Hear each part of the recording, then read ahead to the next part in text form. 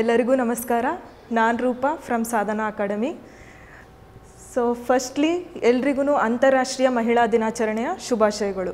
So ಇಂತಹ ಒಂದು ಶುಭ ದಿನದ, ಶುಭ ದಿನದಂದು ನಾವೆಲ್ಲರೂ ಕೂಡ ಇವತ್ತು ಒಂದು ಬ್ಯೂಟಿಫುಲ್ ಟಾಪಿಕ್ ಬಗ್ಗೆ ಡಿಸ್ಕಸ್ ಮಾಡ್ತಾ ಹೋಗೋಣ. ಸೊ ಆ ಟಾಪಿಕ್ ಯಾವುದಪ್ಪ ಅಂತ ಹೇಳಿದ್ರೆ, ಅಂಗಾಂಶ, ಅಂದರೆ ಟಿಶ್ಯೂಸ್ ಅಂದರೆ ಒಂದು ಮೂಲದಲ್ಲಿ ಹುಟ್ಟಿ ಒಂದೇ ರೀತಿಯ ರಚನೆ ಮತ್ತು ಕಾರ್ಯಗಳನ್ನು ಮಾಡ್ತಕ್ಕಂತಹ ಜೀವಕೋಶಗಳ ಗುಂಪು. ಇಲ್ಲಿ ನಿಮಗೆಲ್ರಿಗೂ ಅನಿಸ್ಬೋದು ಜೀವಕೋಶಗಳ ಗುಂಪು ಅಂತ ತಗೊಂಡ್ರೆ ಈಗ has compare to unicellular organism ಅಂತ ಕರಿತಾ ಹೋಗ್ತೀವಿ. ಅಂದರೆ ಲೈಕ್ ಏಕಕೋಶ ಜೀವಿಗಳು, ಅಮೀಬಾ ಆಗಿರ್ಬೋದು, ಪ್ಯಾರಾಮಿಸಿಯಂ ಆಗಿರ್ಬೋದು, ಒಂದೇ ಒಂದು ಜೀವಕೋಶದಿಂದ ತಮ್ಮ ಎಲ್ಲ ಕಾರ್ಯಚಟುವಟಿಕೆಗಳನ್ನು ಮಾಡ್ಕೊಳ್ತಾ ಹೋಗುತ್ತೆ.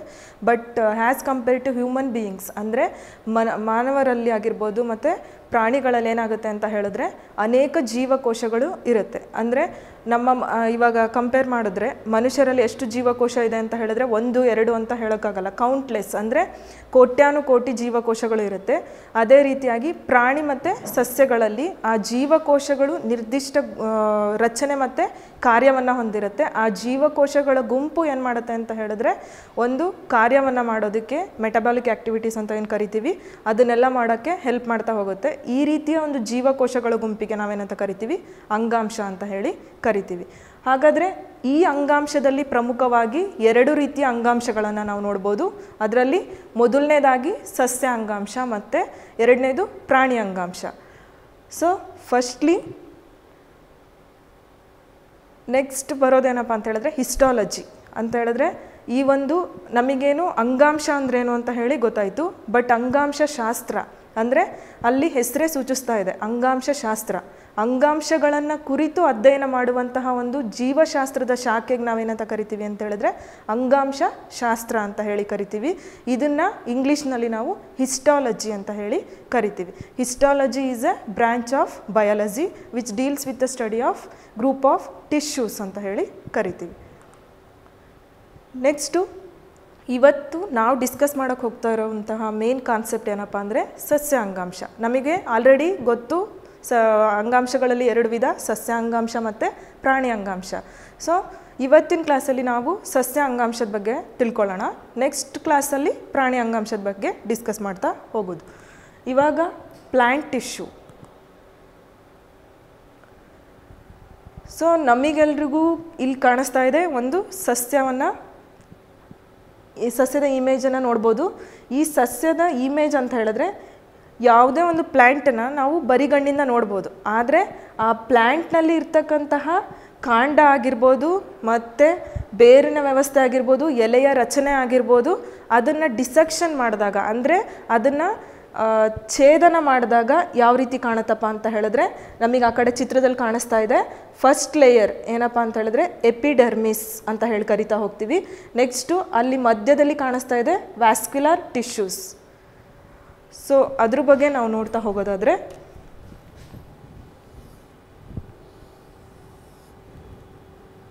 ಇಲ್ಲಿ ಒಂದು ಸಸ್ಯ ಇದೆ. ಸಸ್ಯದ ಒಂದು ಕಾಂಡವನ್ನು ನಾವು ಡಿಸೆಕ್ಟ್ ಮಾಡಿದಾಗ ಅಥವಾ ಛೇದನ ಮಾಡಿದಾಗ ಇಲ್ಲಿ ಒಂದು ರಚನೆ ಕಾಣುತ್ತೆ ನಮಗೆ. ಅದನ್ನು ಆ ರಚನೆಯನ್ನು ನಾವು ಬರೀ ಒಂದು ಪ್ಲ್ಯಾಂಟನ್ನು ನೋಡ್ಬೋದು. ಆ ಪ್ಲ್ಯಾಂಟಲ್ಲಿರೋ ಲೀವ್ಸ್ ಎಷ್ಟು ಇದ್ದಾವೆ ನೆಕ್ಸ್ಟು ಆ ಫ್ಲವರ್ ಯಾವ ರೀತಿ ಇದೆ ಅಂತ ಹೇಳಿ ನೋಡ್ಬೋದು. ಆದರೆ ಆ ಒಂದು ಕಾಂಡವನ್ನು ನಾವು ಛೇದನ ಮಾಡಿ ನೋಡಿದಾಗ ಅದರಲ್ಲಿ ಯಾವ್ಯಾವ ಭಾಗಗಳು ಕಂಡುಬರುತ್ತೆ ಅನ್ನೋದು. ಸೊ ಅದನ್ನು ನಾವು ಛೇದನ ಮಾಡಿ ನೋಡಿದಾಗ ಅಂತ ಹೇಳಿದ್ರೆ ಕೈಯಲ್ಲಿ ಹಿಡ್ಕೊಂಡು ನೋಡಿದ್ರೆ ಏನೂ ಕಾಣಿಸಲ್ಲ. ಅದಕ್ಕೆ ಏನು ಮಾಡಬೇಕು? Microscope with the help of microscope ಏನು ಮಾಡಬೇಕು ಅಂತ ಹೇಳಿದ್ರೆ ಅದರಲ್ಲಿ ಯಾವ್ಯಾವ ಭಾಗಗಳಿದೆ ಅಂತ ಹೇಳಿ ನಾವು ಅಬ್ಸರ್ವ್ ಮಾಡ್ಬೋದು. ಸೊ ಫಸ್ಟ್ ಒಂದು ಭಾಗ ಯಾವುದಪ್ಪ ಅಂತ ಹೇಳಿದ್ರೆ ಎಪಿಡರ್ಮಿಸ್ ಅಂತ ಹೇಳಿ ಕರಿತೀವಿ. ಆ ಕಾಂಡವನ್ನು ಛೇದನ ಮಾಡಿದಾಗ ಹೊರ ಭಾಗವನ್ನು ನಾವು ಎಪಿಡರ್ಮಿಸ್ ಅಂತ ಹೇಳಿ ಕರಿತೀವಿ. ಅದರ ನಂತರದಲ್ಲಿ ಬರೋದು ಯಾವುದಪ್ಪ ಅಂತ ಹೇಳಿದ್ರೆ ವ್ಯಾಸ್ಕ್ಯುಲರ್ ಬಂಡಲ್ಸ್. ವ್ಯಾಸ್ಕ್ಯುಲರ್ ಬಂಡಲ್ಸ್ ಅಂತ ಹೇಳಿದ್ರೆ ನಾಳ ಕೂರ್ಚಗಳು ಅಂತ ಹೇಳಿ ಕರಿತೀವಿ. ಆ ನಾಳ ಕೂರ್ಚಗಳು ಹೆಂಗೆ ಅರೇಂಜ್ ಆಗಿರುತ್ತೆ ಅಂತ ಹೇಳಿದ್ರೆ ಒಂದರ ಪಕ್ಕದಲ್ಲಿ ಒಂದು ಅರೇಂಜ್ ಆಗಿ ಇರುತ್ತೆ. ಅಂದರೆ ಸಿಸ್ಟಮೆಟಿಕ್ ಆಗಿ ಒಂದರ ಪಕ್ಕ ಒಂದು ನಾಳಕೂರ್ಚಗಳ ವ್ಯವಸ್ಥೆಯನ್ನು ನಾವು ನೋಡ್ಬೋದು. ಸೊ ಇದ್ರದ್ದೇನು ಸ್ಪೆಷಾಲಿಟಿ ಅಂತ ಹೇಳಿದ್ರೆ, ಇಲ್ಲಿ ನಮಗೇನು ಗೊತ್ತಾಗುತ್ತೆ ಅಂತ ಇಲ್ಲಿ ಖಾಲಿ ಸ್ಪೇಸ್ ಇರೋಲ್ಲ. ಇಲ್ಲಿ ಎಲ್ಲ ಸೆಲ್ಗಳು ಏನಾಗಿರುತ್ತೆ, ಒಂದರ ಪಕ್ಕದಲ್ಲಿ ಒಂದೊಂದು ಅರೇಂಜ್ ಆಗಿರುತ್ತೆ.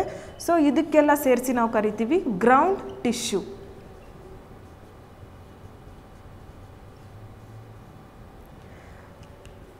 ಅಂದರೆ ಎಪಿಡರ್ಮಲ್ ಪಾರ್ಟ್ ಮೊದಲನೇದು ನಾವು ನೋಡೋದು.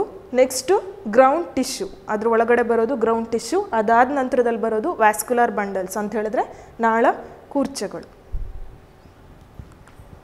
ಸೊ ನೆಕ್ಸ್ಟು ಈ ಸಸ್ಯ ಅಂಗಾಂಶದಲ್ಲಿ ಪ್ರಮುಖವಾಗಿ ಎರಡು ವಿಧಗಳಿರ, ಎರಡು ವಿಧಗಳಿರುತ್ತೆ. ಅದರಲ್ಲಿ ಮೊದಲನೇದು ವರ್ಧನ ಅಂಗಾಂಶ. ಸೊ ನೆಕ್ಸ್ಟ್ ಒನ್ನು ಶಾಶ್ವತ ಅಂಗಾಂಶ. ವರ್ಧನ ಅಂಗಾಂಶ ಅಂತ ಹೇಳಿದ್ರೆ ಮೆರಿಸ್ಟಮ್ಯಾಟಿಕ್ ಟಿಶ್ಯೂ. ನಂತರದಲ್ಲಿ ಶಾಶ್ವತ ಅಂಗಾಂಶ. ಶಾಶ್ವತ ಅಂಗಾಂಶ ಅಂತ ಹೇಳಿದ್ರೆ ಪರ್ಮನೆಂಟ್ ಟಿಶ್ಯೂ ಸೊ ಇದರಲ್ಲಿ ಫಸ್ಟ್ ಒನ್ನು ನಾವು ನೋಡ್ತಾ ಹೋಗ್ತೀವಿ ಇವಾಗ ವರ್ಧನ ಅಂಗಾಂಶ. ಸೊ ಈ ವರ್ಧನ ಅಂಗಾಂಶದಲ್ಲಿ ಮೇಜರ್ ಆಗಿ ಏನಪ್ಪ ಅಂತ ಹೇಳಿದ್ರೆ ಮತ್ತೆ ಫೋರ್ ಟೈಪ್ಸ್ ಬರುತ್ತೆ. ಅದರಲ್ಲಿ ಫಸ್ಟ್ ಒನ್ ಈಸ್ ತುದಿ ವರ್ಧನ ಅಂಗಾಂಶ, ಎಪಿಕಲ್ ಮೆರಿಸ್ಟಮ್ಯಾಟಿಕ್ ಟಿಶ್ಯೂ ಅಂತ ಹೇಳಿ ಕರಿತೀವಿ. ಎಪಿಕಲ್ ಮೆರಿಸ್ಟಮ್ಯಾಟಿಕ್ ಟಿಶ್ಯೂ ಅಂತ ಹೇಳಿದ್ರೆ ಏನೂ ಇಲ್ಲ ಸ್ನೇಹಿತರೆ, ಏನಂತ ಹೇಳಿದ್ರೆ ಎಪಿಕ್ಸ್ ಅಂತ ಹೇಳಿದ್ರೆ ತುದಿಯ ಭಾಗ. ಅಂದರೆ ಇವಾಗ ನೀವೆಲ್ಲ ಅನ್ಕೋಬೋದು, ಇವಾಗ ಪ್ಲ್ಯಾಂಟ್ ಚಿತ್ರ ತೋರಿಸಿದ್ರು, ಅದರಲ್ಲಿ ಹೇಳ್ತಾ ಹೋದರು, ಎಲೆ, ಕಾಂಡ, ಬೇರು ಅಂತ ಹೇಳಿ ಅಂತೇಳಿ. ಸೊ ಯಾವುದೋ ಹೂವಿನ ತುದಿ ಆಗಿರ್ಬೋದು, ಬೇರಿನ ತುದಿ ಆಗಿರ್ಬೋದು ಅಲ್ಲ, ಇದರಲ್ಲಿ ಮೇಜರಾಗಿ ಗಮನಿಸಬೇಕಾಗಿರೋದು ಏನಪ್ಪ ಅಂತ ಹೇಳಿದ್ರೆ, ಒಂದು ಪ್ಲ್ಯಾಂಟ್ ನಾವು ತಗೊಂಡಿದ್ದೀವಿ ಅಂತ ಹೇಳಿದ್ರೆ, ಆ ಕಾಂಡ, ಅಂದರೆ ಈ ಬೇರಿನ ಭಾಗ ಈ ಕಾಂಡದ ತುದಿಯ ಭಾಗದಲ್ಲಿ ಏನಾಗುತ್ತೆ ಅಂತ ಹೇಳಿದ್ರೆ ಈ ಒಂದು ಎಪಿಕಲ್ ಮೆರಿಸ್ಟಮ್ಯಾಟಿಕ್ ಟಿಶ್ಯೂ ಪ್ರೆಸೆಂಟ್ ಇರುತ್ತೆ. ಸೊ ಇದು ಪ್ರಮುಖವಾಗಿ ಏನಕ್ಕೆ ಹೆಲ್ಪ್ ಅಂತ ಹೇಳಿದ್ರೆ ಸಸ್ಯ, ಒಂದು ಸಸ್ಯ ಎತ್ತರವಾಗಿ ಬೆಳಿಲಿಕ್ಕೆ ಸಹಾಯಕವಾಗುತ್ತೆ. ನೆಕ್ಸ್ಟ್ ಬರುತ್ತೆ ಪಾರ್ಶ್ವವರ್ಧನ ಅಂಗಾಂಶ. ಪಾರ್ಶ್ವವರ್ಧನ ಅಂಗಾಂಶ ಅಂತ ಹೇಳಿದ್ರೆ ಲ್ಯಾಟ್ರಲ್ ಮೆರಿಸ್ಟಮ್ಯಾಟಿಕ್ ಟಿಶ್ಯೂ. ಲ್ಯಾಟ್ರಲ್ ಅಂತ ಹೇಳಿದ್ರೆ ಎಲ್ರಿಗೂ ಗೊತ್ತು ಪಾರ್ಶ್ವ. ಪಾರ್ಶ್ವ ಅಂದರೆ sides sides of the plant ಅಂತ ಹೇಳ್ತಾರೆ. ಇಲ್ಲಿ ಏನಾಗುತ್ತೆ ಅಂತ ಹೇಳಿದ್ರೆ, ಈ ರೀತಿ ಆ ಒಂದು ಪ್ಲ್ಯಾಂಟ್ ಅಗಲವಾಗಿ ಬೆಳೆಯೋದಕ್ಕೆ ಹೆಲ್ಪ್ ಮಾಡ್ತಕ್ಕಂತಹ ಒಂದು ಅಂಗಾಂಶನೇ ಲ್ಯಾಟ್ರಲ್ ಮೆರಿಸ್ಟಮ್ಯಾಟಿಕ್ ಟಿಶ್ಯೂ ಸೊ ಇದಕ್ಕೆ ನಾವು ಎಕ್ಸಾಂಪಲ್ ಹೇಳಬೇಕಂತ ಹೇಳಿದ್ರೆ ಸೊ ಇವತ್ತು ಮಹಿಳಾ ದಿನಾಚರಣೆ ಆಗಿರೋದ್ರಿಂದ ಮಹಿಳೆಯರನ್ನೇ ಎಕ್ಸಾಂಪಲ್ ತೊಗೊಳ್ಳೋಣ ನಾವೆಲ್ಲರೂ ಸೊ ಅಲ್ಲಿ ಏನಾಗುತ್ತೆ ಅಂತ ಹೇಳಿದ್ರೆ ತುದಿವರ್ಧನ ಅಂಗಾಂಶ. ಫಸ್ಟ್ ಬಿಫೋರ್ ಮ್ಯಾರೇಜ್ ಹುಡುಗಿರು ಏನಾಗಿರ್ತಾರೆ ಅಂತ ಹೇಳಿದ್ರೆ ತೆಳ್ಳುಗೆ ಉದ್ದಕ್ಕಿರ್ತಾರೆ ಅಲ್ವಾ? ಸೊ ಆಫ್ಟರ್ ಮ್ಯಾರೇಜ್ ಏನಾಗುತ್ತೆ? ಲ್ಯಾಟ್ರಲ್ ಮೆರಿಸ್ಟಮ್ಯಾಟಿಕ್ ಟಿಶ್ಯೂ ಫುಲ್ ದಪ್ಪ ಆಗಿಬಿಡ್ತಾರೆ. ಸೊ ಆ್ಯಸ್ ಇಟ್ ಈಸ್ ನಮ್ಮ ಸಸ್ಯ ಕೂಡ ಅಷ್ಟೇ, ಪ್ರಾಥಮಿಕ ಹಂತದಲ್ಲಿ ಬೆಳಿಬೇಕಾದ್ರೆ ಎಪಿಕಲ್ ಮೆರಿಸ್ಟಮ್ಯಾಟಿಕ್ ಟಿಶ್ಯೂ ಪ್ರೆಸೆಂಟ್ ಇರುತ್ತೆ. ನಂತರದಲ್ಲಿ ಆ ಸಸ್ಯ ಬೆಳವಣಿಗೆಯನ್ನು ಹೊಂತಾ ಹೋದಾಗ ಅದ್ರ ಗರ್ತ್ ಅಂದರೆ ಅದರ ಒಂದು ಡಯಾಮೀಟರ್ ಏನಾಗುತ್ತೆ ಅಂತ ಹೇಳಿದ್ರೆ ಅಗಲವಾಗಿ ಆ ಸಸ್ಯ ಬೆಳಿಲಿಕ್ಕೆ ಹೆಲ್ಪ್ ಮಾಡುತ್ತೆ. ಸೊ ನೆಕ್ಸ್ಟು ನಾವು ಹೇಳಿದ್ವಿ ಮೆರಿಸ್ಟಮ್ಯಾಟಿಕ್ ಟಿಶ್ಯೂನಲ್ಲಿ ಪ್ರಮುಖವಾಗಿ ನಾಲ್ಕು ವಿಧಗಳನ್ನು ನೋಡ್ತೀವಿ ಅಂಥೇಳಿ. ಲ್ಯಾಟ್ ಎಪಿಕಲ್ ಮತ್ತು ಲ್ಯಾಟ್ರಲ್ ಮುಗೀತು. Next internodal meristematic tissue. So ಈ ಇಂಟರ್ನೋಡಲ್ ಮೆರಿಸ್ಟಮ್ಯಾಟಿಕ್ ಟಿಶ್ಯೂ ಅಂತ ಹೇಳಿದ್ರೆ ನಮಗೊಂದು ತಕ್ಷಣ ನೆನಪಾಗ್ತಕ್ಕಂತಹ ಪ್ಲ್ಯಾಂಟ್ ಸೊ ಇದನ್ನು ನೋಡಿದಾಗ ನಿಮಗೆ ನೆನಪಾಗ್ಬೋದು. ಇಂಟರ್ನೋಡ್ಸ್ ಅಂತ ಹೇಳಿ ಕರಿತೀವಿ. ಕಬ್ಬನ್ನ ಎಲ್ಲರೂ ನೋಡಿರ್ತೀರ? ಅಂದರೆ ಕಬ್ಬಿನ ಸಿಹಿ ಅಂಶವನ್ನು ಎಲ್ಲರೂ ಕೂಡ ಸೌದಿರ್ತೀರ. ಸೊ ಆ ಕಬ್ಬು ಏನಾಗುತ್ತೆ ಅಂತ ಹೇಳಿದ್ರೆ, ಒಂದು ಚಿಕ್ಕದಾಗಿತ್ತು ಅಂತ ಹೇಳಿದ್ರೆ ನೀವೊಬ್ಬರೇ ತಿನ್ನಕ್ಕೆ ಸಾಧ್ಯ. ಅದೇ ಏನಾದರೂ ಕಬ್ಬು ಒಂದು ಒಬ್ಬ ವ್ಯಕ್ತಿಗಿಂತ, ಏನೋ ಒಂದು ಆರು ಅಡಿ ಹೈಟ್ ಇತ್ತು ಅಂತ ಹೇಳಿದ್ರೆ ನೀವೇನು ಮಾಡ್ತೀರಾ? ನೀವು ತಿಂತೀರಾ, ಜೊತೆಗೆ ನಿಮ್ಮ ಫ್ರೆಂಡ್ಸಿಗೂ ಆ ಕಬ್ಬನ್ನ ಹಂಚಿ ತಿಂತೀರಾ. ಸೊ ಆ ಕಬ್ಬನ್ನ ಹಂಚಿ ತಿನ್ನಬೇಕು ಅಂತ ಹೇಳಿದ್ರೆ ನೀವು ಒಂದು ಕಬ್ಬು ತಗೊಂಡು ಇನ್ನೊಂದು ಕಬ್ಬಿಗೆ ಪ್ಲಾಸ್ಟರ್ ಮಾಡಿ ಅಂಟ್ಸೋಕ್ಕಾಗಲ್ಲ ನಮ್ಮ ಸಸ್ಯನೇ ಆ ಮಾಡಿಫಿಕೇಶನ್ ಮಾಡ್ಕೊಂಡಿರುತ್ತೆ. ಅದೇನಪ್ಪ ಅಂತ ಹೇಳಿದ್ರೆ ಇಂಟರ್ನೋಡಲ್ ಮೆರಿಸ್ಟಮ್ಯಾಟಿಕ್ ಟಿಶ್ಯೂ ಈ ಇಂಟರ್ ನೋಡಲ್ ಮೆರಿಸ್ಟಮ್ಯಾಟಿಕ್ ಟಿಶ್ಯೂ ಪ್ರಮುಖ ಕಾರ್ಯ ಏನಂತ ಹೇಳಿದ್ರೆ ನೋಡಲ್ ರೀಸನ್ ಅಂದರೆ ಈ ಒಂದು ಗಿಣ್ಣುಗಳು ಅಂತ ಏನು ಕರಿತೀವಿ? ಆ ಆ ಒಂದು ಪ್ಲ್ಯಾಂಟಿನ ಗಿಣ್ಣುಗಳಲ್ಲಿ ಈ ಇಂಟರ್ನೋಡಲ್ ಮೆರಿಸ್ಟಮ್ಯಾಟಿಕ್ ಟಿಶ್ಯೂ ಏನು ಮಾಡುತ್ತೆ ಅಂತ ಹೇಳಿದ್ರೆ ಈ ಒಂದು ಗಿಣ್ಣುಗಳ ಸಂಖ್ಯೆಯನ್ನು ಹೆಚ್ಚು ಮಾಡ್ತಾ ಹೋಗುತ್ತೆ. ಈ ಗಿಣ್ಣುಗಳ ಸಂಖ್ಯೆ ಹೆಚ್ಚಾಗ್ತಾ ಹೋಯಿತು ಅಂತ ಹೇಳಿದ್ರೆ ಇನ್ನೂ ಕಬ್ಬು ಏನಾಗುತ್ತೆ ಅಂತ ಹೇಳಿದ್ರೆ ಎತ್ತರದಲ್ಲಿ, ಅಂದರೆ ತುಂಬ ದೊಡ್ಡದಾಗಿ ಬೆಳೆಯುತ್ತೆ. ಸೊ ಅವಾಗ ಏನು ಮಾಡ್ಬೋದು? ಎಲ್ರಿಗೂ ಹಂಚಿ ಕೂಡ ತಿನ್ಬೋದು. ಅಂತ ಹೇಳಿದ್ರೆ ಆ ಒಂದು ಪ್ಲ್ಯಾಂಟಿನ ನೋಡಲ್ ರೀಸನ್ ಅಂತ ಏನು ಕರಿತೀವಿ? ಅಲ್ಲಿ ಈ ಇಂಟರ್ ನೋಡಲ್ ಮೆರಿಸ್ಟಮ್ಯಾಟಿಕ್ ಟಿಶ್ಯೂ ಇದ್ದು, ಅದು ಇನ್ನೂ ಹೆಚ್ಚಿನ ಉತ್ಪನ್ನವನ್ನು ಕೊಡೋದಕ್ಕೆ ಆ ಪ್ಲ್ಯಾಂಟು ಹೆಲ್ಪ್ ಮಾಡುತ್ತೆ. So final last one intercalary meristem. Intercalary ಅಂತ ಹೇಳಿದ್ರೆ ಏನಿಲ್ಲ. ನಿಮಗೆಲ್ರಿಗೂ ಗೊತ್ತು ಮನೆಯಲ್ಲಿ ಆರಾಮಾಗಿ ಕಂಫರ್ಟಾಗಿ ಕೂರಬೇಕು ಅಂತ ಹೇಳಿದ್ರೆ ಪ್ಲಾಸ್ಟಿಕ್ ಚೇರೆಲ್ಲ ಇವಾಗ ಯೂಸ್ ಮಾಡಲ್ಲ. ಎಸ್ಪೆಷಲಿ ಸೋಫಾ ಸೆಟ್ ಅದೆಲ್ಲ ಕಂಫರ್ಟ್ ಬೇಕೀಗ ಮನುಷ್ಯಂಗಲ್ವಾ? ಕಂಫರ್ಟ್ ಫ್ಯಾಬ್ರಿಕ್ ಕಂಡೀಷನ್ ಅಂತ ಬರೀ ಕ್ಲಾತಿಗೆ ಅಷ್ಟೇ ಅಲ್ಲ ಅವರೂ ಕೂಡ ಕಂಫರ್ಟನ್ನು ಹೆಚ್ಚು ಎಕ್ಸ್ಪೆಕ್ಟ್ ಮಾಡ್ತಾ ಇರ್ತಾರೆ. ಸೊ ಆ ಕಂಫರ್ಟ್ ಝೋನ್ ಬೇಕು ಅಂತ ಹೇಳಿದ್ರೇನು ಸೋಫಾ ಬೇಕು. ಸೋಫಾ ಮಾಡಿಸ್ಬೇಕು ಅಂತ ಹೇಳಿದ್ರೆ ಯಾವುದೋ ಒಂದು ಕಟ್ಟಿಗೆ ತೊಗೊಂಬ, ಮಾಡು ಅಂದರೆ ಆಗಲ್ಲ. ಸೊ ಅಲ್ಲೇನಾಗುತ್ತೆ ಅಂತ ಹೇಳಿದ್ರೆ ಒಂದು ಪ್ಲ್ಯಾಂಟ್ ಅಥವಾ ಒಂದು ಟ್ರೀನ ಈ ರೀತಿ ಭಾಗ ಅಂತ ಹೇಳಿದ್ರೆ ಈ ಒಂದು ಮರದ ಒಂದು ಮರದ ಕಾಂಡವನ್ನು ಬಳಸ್ಕೊಳ್ಳಲ್ಲ. ಕೆಚ್ ಅಂತ ಹೇಳ್ತಾರೆ. ಸೊ ಈ ಮಧ್ಯದ ಭಾಗವನ್ನು ಹೆಚ್ಚು ಮಾಡೋದಕ್ಕೆ ಅಥವಾ ನೀವಿನ್ನೂ ಹೆಚ್ಚು ಹೆಚ್ಚು ಸೋಫಾ ಸೆ, ಸೋಫಾ ಸೆಟ್ ಅದು ಇದು ಮಾಡಿಸ್ಕೋಬೇಕು ಅಂತ ಹೇಳಿದ್ರೆ, ಆ ಮರದ ಕೆಚ್ಚುಗಳು ಹೆಚ್ಚಾಗಬೇಕು. ಅಂದರೆ ನಾವು ಹೋಗಿ ಅದನ್ನು ಜಾಸ್ತಿ ಮಾಡಲ್ಲ. ಯಾರು ಮಾಡ್ತಾರೆ? ಮೆರಿಸ್ಟಮ್ಯಾಟಿಕ್ ಟಿಶ್ಯೂ ಮಾಡುತ್ತೆ. So next we move on to the ಶಾಶ್ವತ ಅಂಗಾಂಶ. ಅಂದರೆ ಪರ್ಮನೆಂಟ್ ಟಿಶ್ಯೂ ಅಂತ ಹೇಳಿ ಕರಿತೀವಿ. ಇವಾಗ ನಾವು ನೋಡಿದ್ದು ಮೆರಿಸ್ಟಮ್ಯಾಟಿಕ್ ಟಿಶ್ಯೂ, ವರ್ಧನ ಅಂಗಾಂಶ. ನೆಕ್ಸ್ಟು ಪರ್ಮನೆಂಟ್ ಟಿಶ್ಯೂ ಶಾಶ್ವತ ಅಂಗಾಂಶದ ಬಗ್ಗೆ ತಿಳ್ಕೊಳ್ಳೋಣ.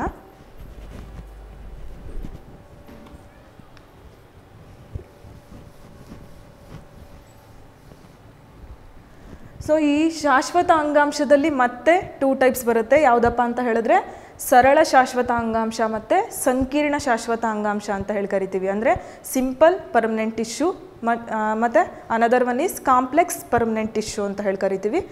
First we have to discuss simple permanent tissue ಅಂದರೆ ಸರಳ ಶಾಶ್ವತ ಅಂಗಾಂಶ. ಈ ಸರಳ ಶಾಶ್ವತ ಅಂಗಾಂಶದಲ್ಲಿ ಏನಪ್ಪ ಅಂತ ಹೇಳಿದ್ರೆ ಮತ್ತೆ ಹೇಗೆ ತ್ರೀ ಟೈಪ್ಸ್ ಬರುತ್ತೆ. ಯಾವುದ್ಯಾವುದಪ್ಪ ಅಂತ ಹೇಳಿದ್ರೆ ಪೇರಂಕೈಮ ಕೋಲಂಕೈಮ ಮತ್ತು ಸ್ಕ್ಲೀರಂಕೈಮ. ಸೊ ಅದರಲ್ಲಿ ಫಸ್ಟ್ ಒನ್ ಏನಪ್ಪ ಅಂತ ಹೇಳಿದ್ರೆ ಪೇರಂಕೈಮ. ಸೊ ಎಲ್ಲರೂ ನೋಡ್ತಾ ಇದ್ದೀರಾ? ಒಳ್ಳೆ ಗಣೇಶ ಹಬ್ಬಕ್ಕೆ ಕಟ್ಟಿರೋ ಉಂಡೆ ಥರ ಕಾಣಿಸ್ತಾ ಇದೆ. ಬಟ್ ಏನಂತ ಹೇಳಿದ್ರೆ ಈ ಪೇರಂಕೈಮ ಸೆಲ್ಸು ಮೇಯ್ನಾಗಿ ರೌಂಡ್ ಶೇಪ್ ಅಥವಾ ದುಂಡು, ದುಂಡಾಕಾರದಲ್ಲಿರುತ್ತೆ. ಇಲ್ಲ ಅಂತ ಹೇಳಿದ್ರೆ ಹೆಕ್ಸಾಗೋನಲ್ ಶೇಪ್ ಅಂತ ಹೇಳಿ ಕರಿತೀವಿ. ನೆಕ್ಸ್ಟು ರೆಕ್ಟ್ಯಾಂಗ್ಯುಲರ್ ಶೇಪ್ ಅದು ಯಾವ ಶೇಪಲ್ಲಾದರೂ ಇರ್ಬೋದು. ಅದರ ರಚನೆ ಏನಪ್ಪ ಅಂತ ಹೇಳಿದ್ರೆ, ಬಹುಭುಜಾಕೃತಿ ಇರ್ಬೋದು ಪಂಚಭುಜಾಕೃತಿಯಲ್ಲಿರ್ಬೋದು ಅಥವಾ ರೆಕ್ಟ್ಯಾಂಗಲ್ ಶೇಪಲ್ಲಿ ಇರ್ಬೋದು.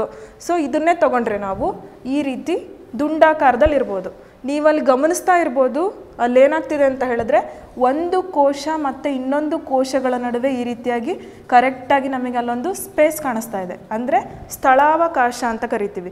ಆ ಒಂದು ಜೀವಕೋಶ ಮತ್ತೊಂದು ಜೀವಕೋಶಕ್ಕೆ ಏನಾಗ್ತಿದೆ ಅಂತ ಹೇಳಿದ್ರೆ ಆ ಸ್ಥಳಾವಕಾಶ ಕಾಣಿಸ್ತಾ ಇದೆ. ಆ ಸ್ಥಳಾವಕಾಶ ಅಂತ ಹೇಳಿದ್ರೆ ಅಲ್ಲಿ ಯಾರೋ ಹೋಗಿ ಕೂತ್ಕೋಬೋದು ಅಂತ ಅಲ್ಲ.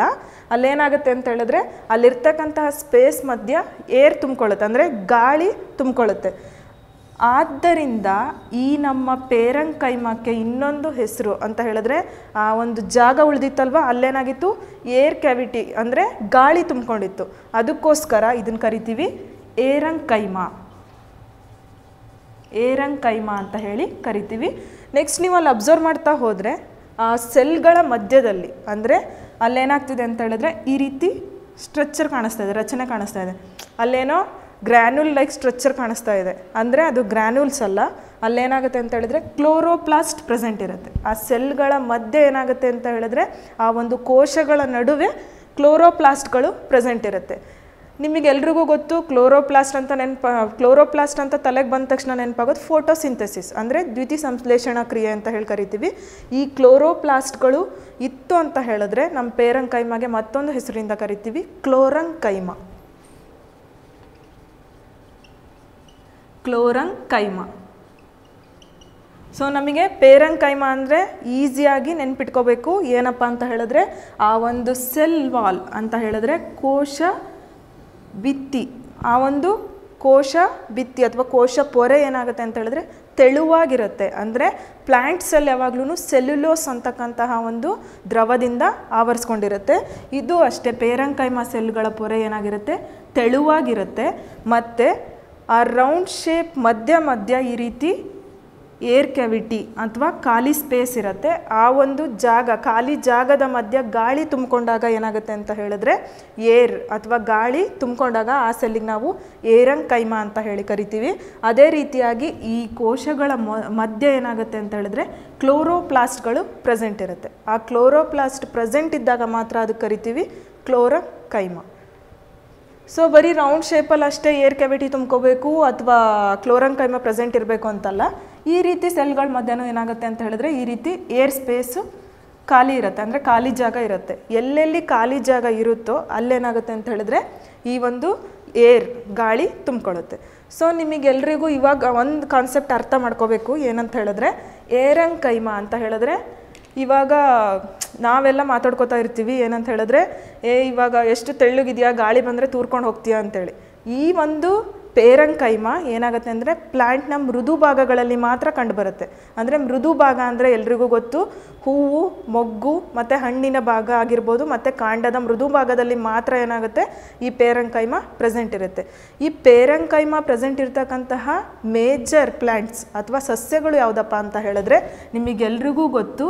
ಲೋಟಸ್, ಕಮಲ ಅಥವಾ ತಾವರೆ ಅಂತ ಏನು ಕರಿತೀವಿ, ಅವು ನಮ್ಮ ನಿಮ್ಮ ಥರ ಏನು ಅಂತ ಹೇಳಿದ್ರೆ ಭೂಮಿ ಮೇಲೆ ಆರಾಮಾಗಿ ಓಡಾಡಿಕೊಂಡು ಊಟ ಮಾಡ್ಕೊಂಡಿರಲ್ಲ. ಎಲ್ಲಿ ಪ್ರೆಸೆಂಟ್ ಇರುತ್ತೆ? ನೀರಿನಲ್ಲಿ ಪ್ರೆಸೆಂಟ್ ಇರುತ್ತೆ.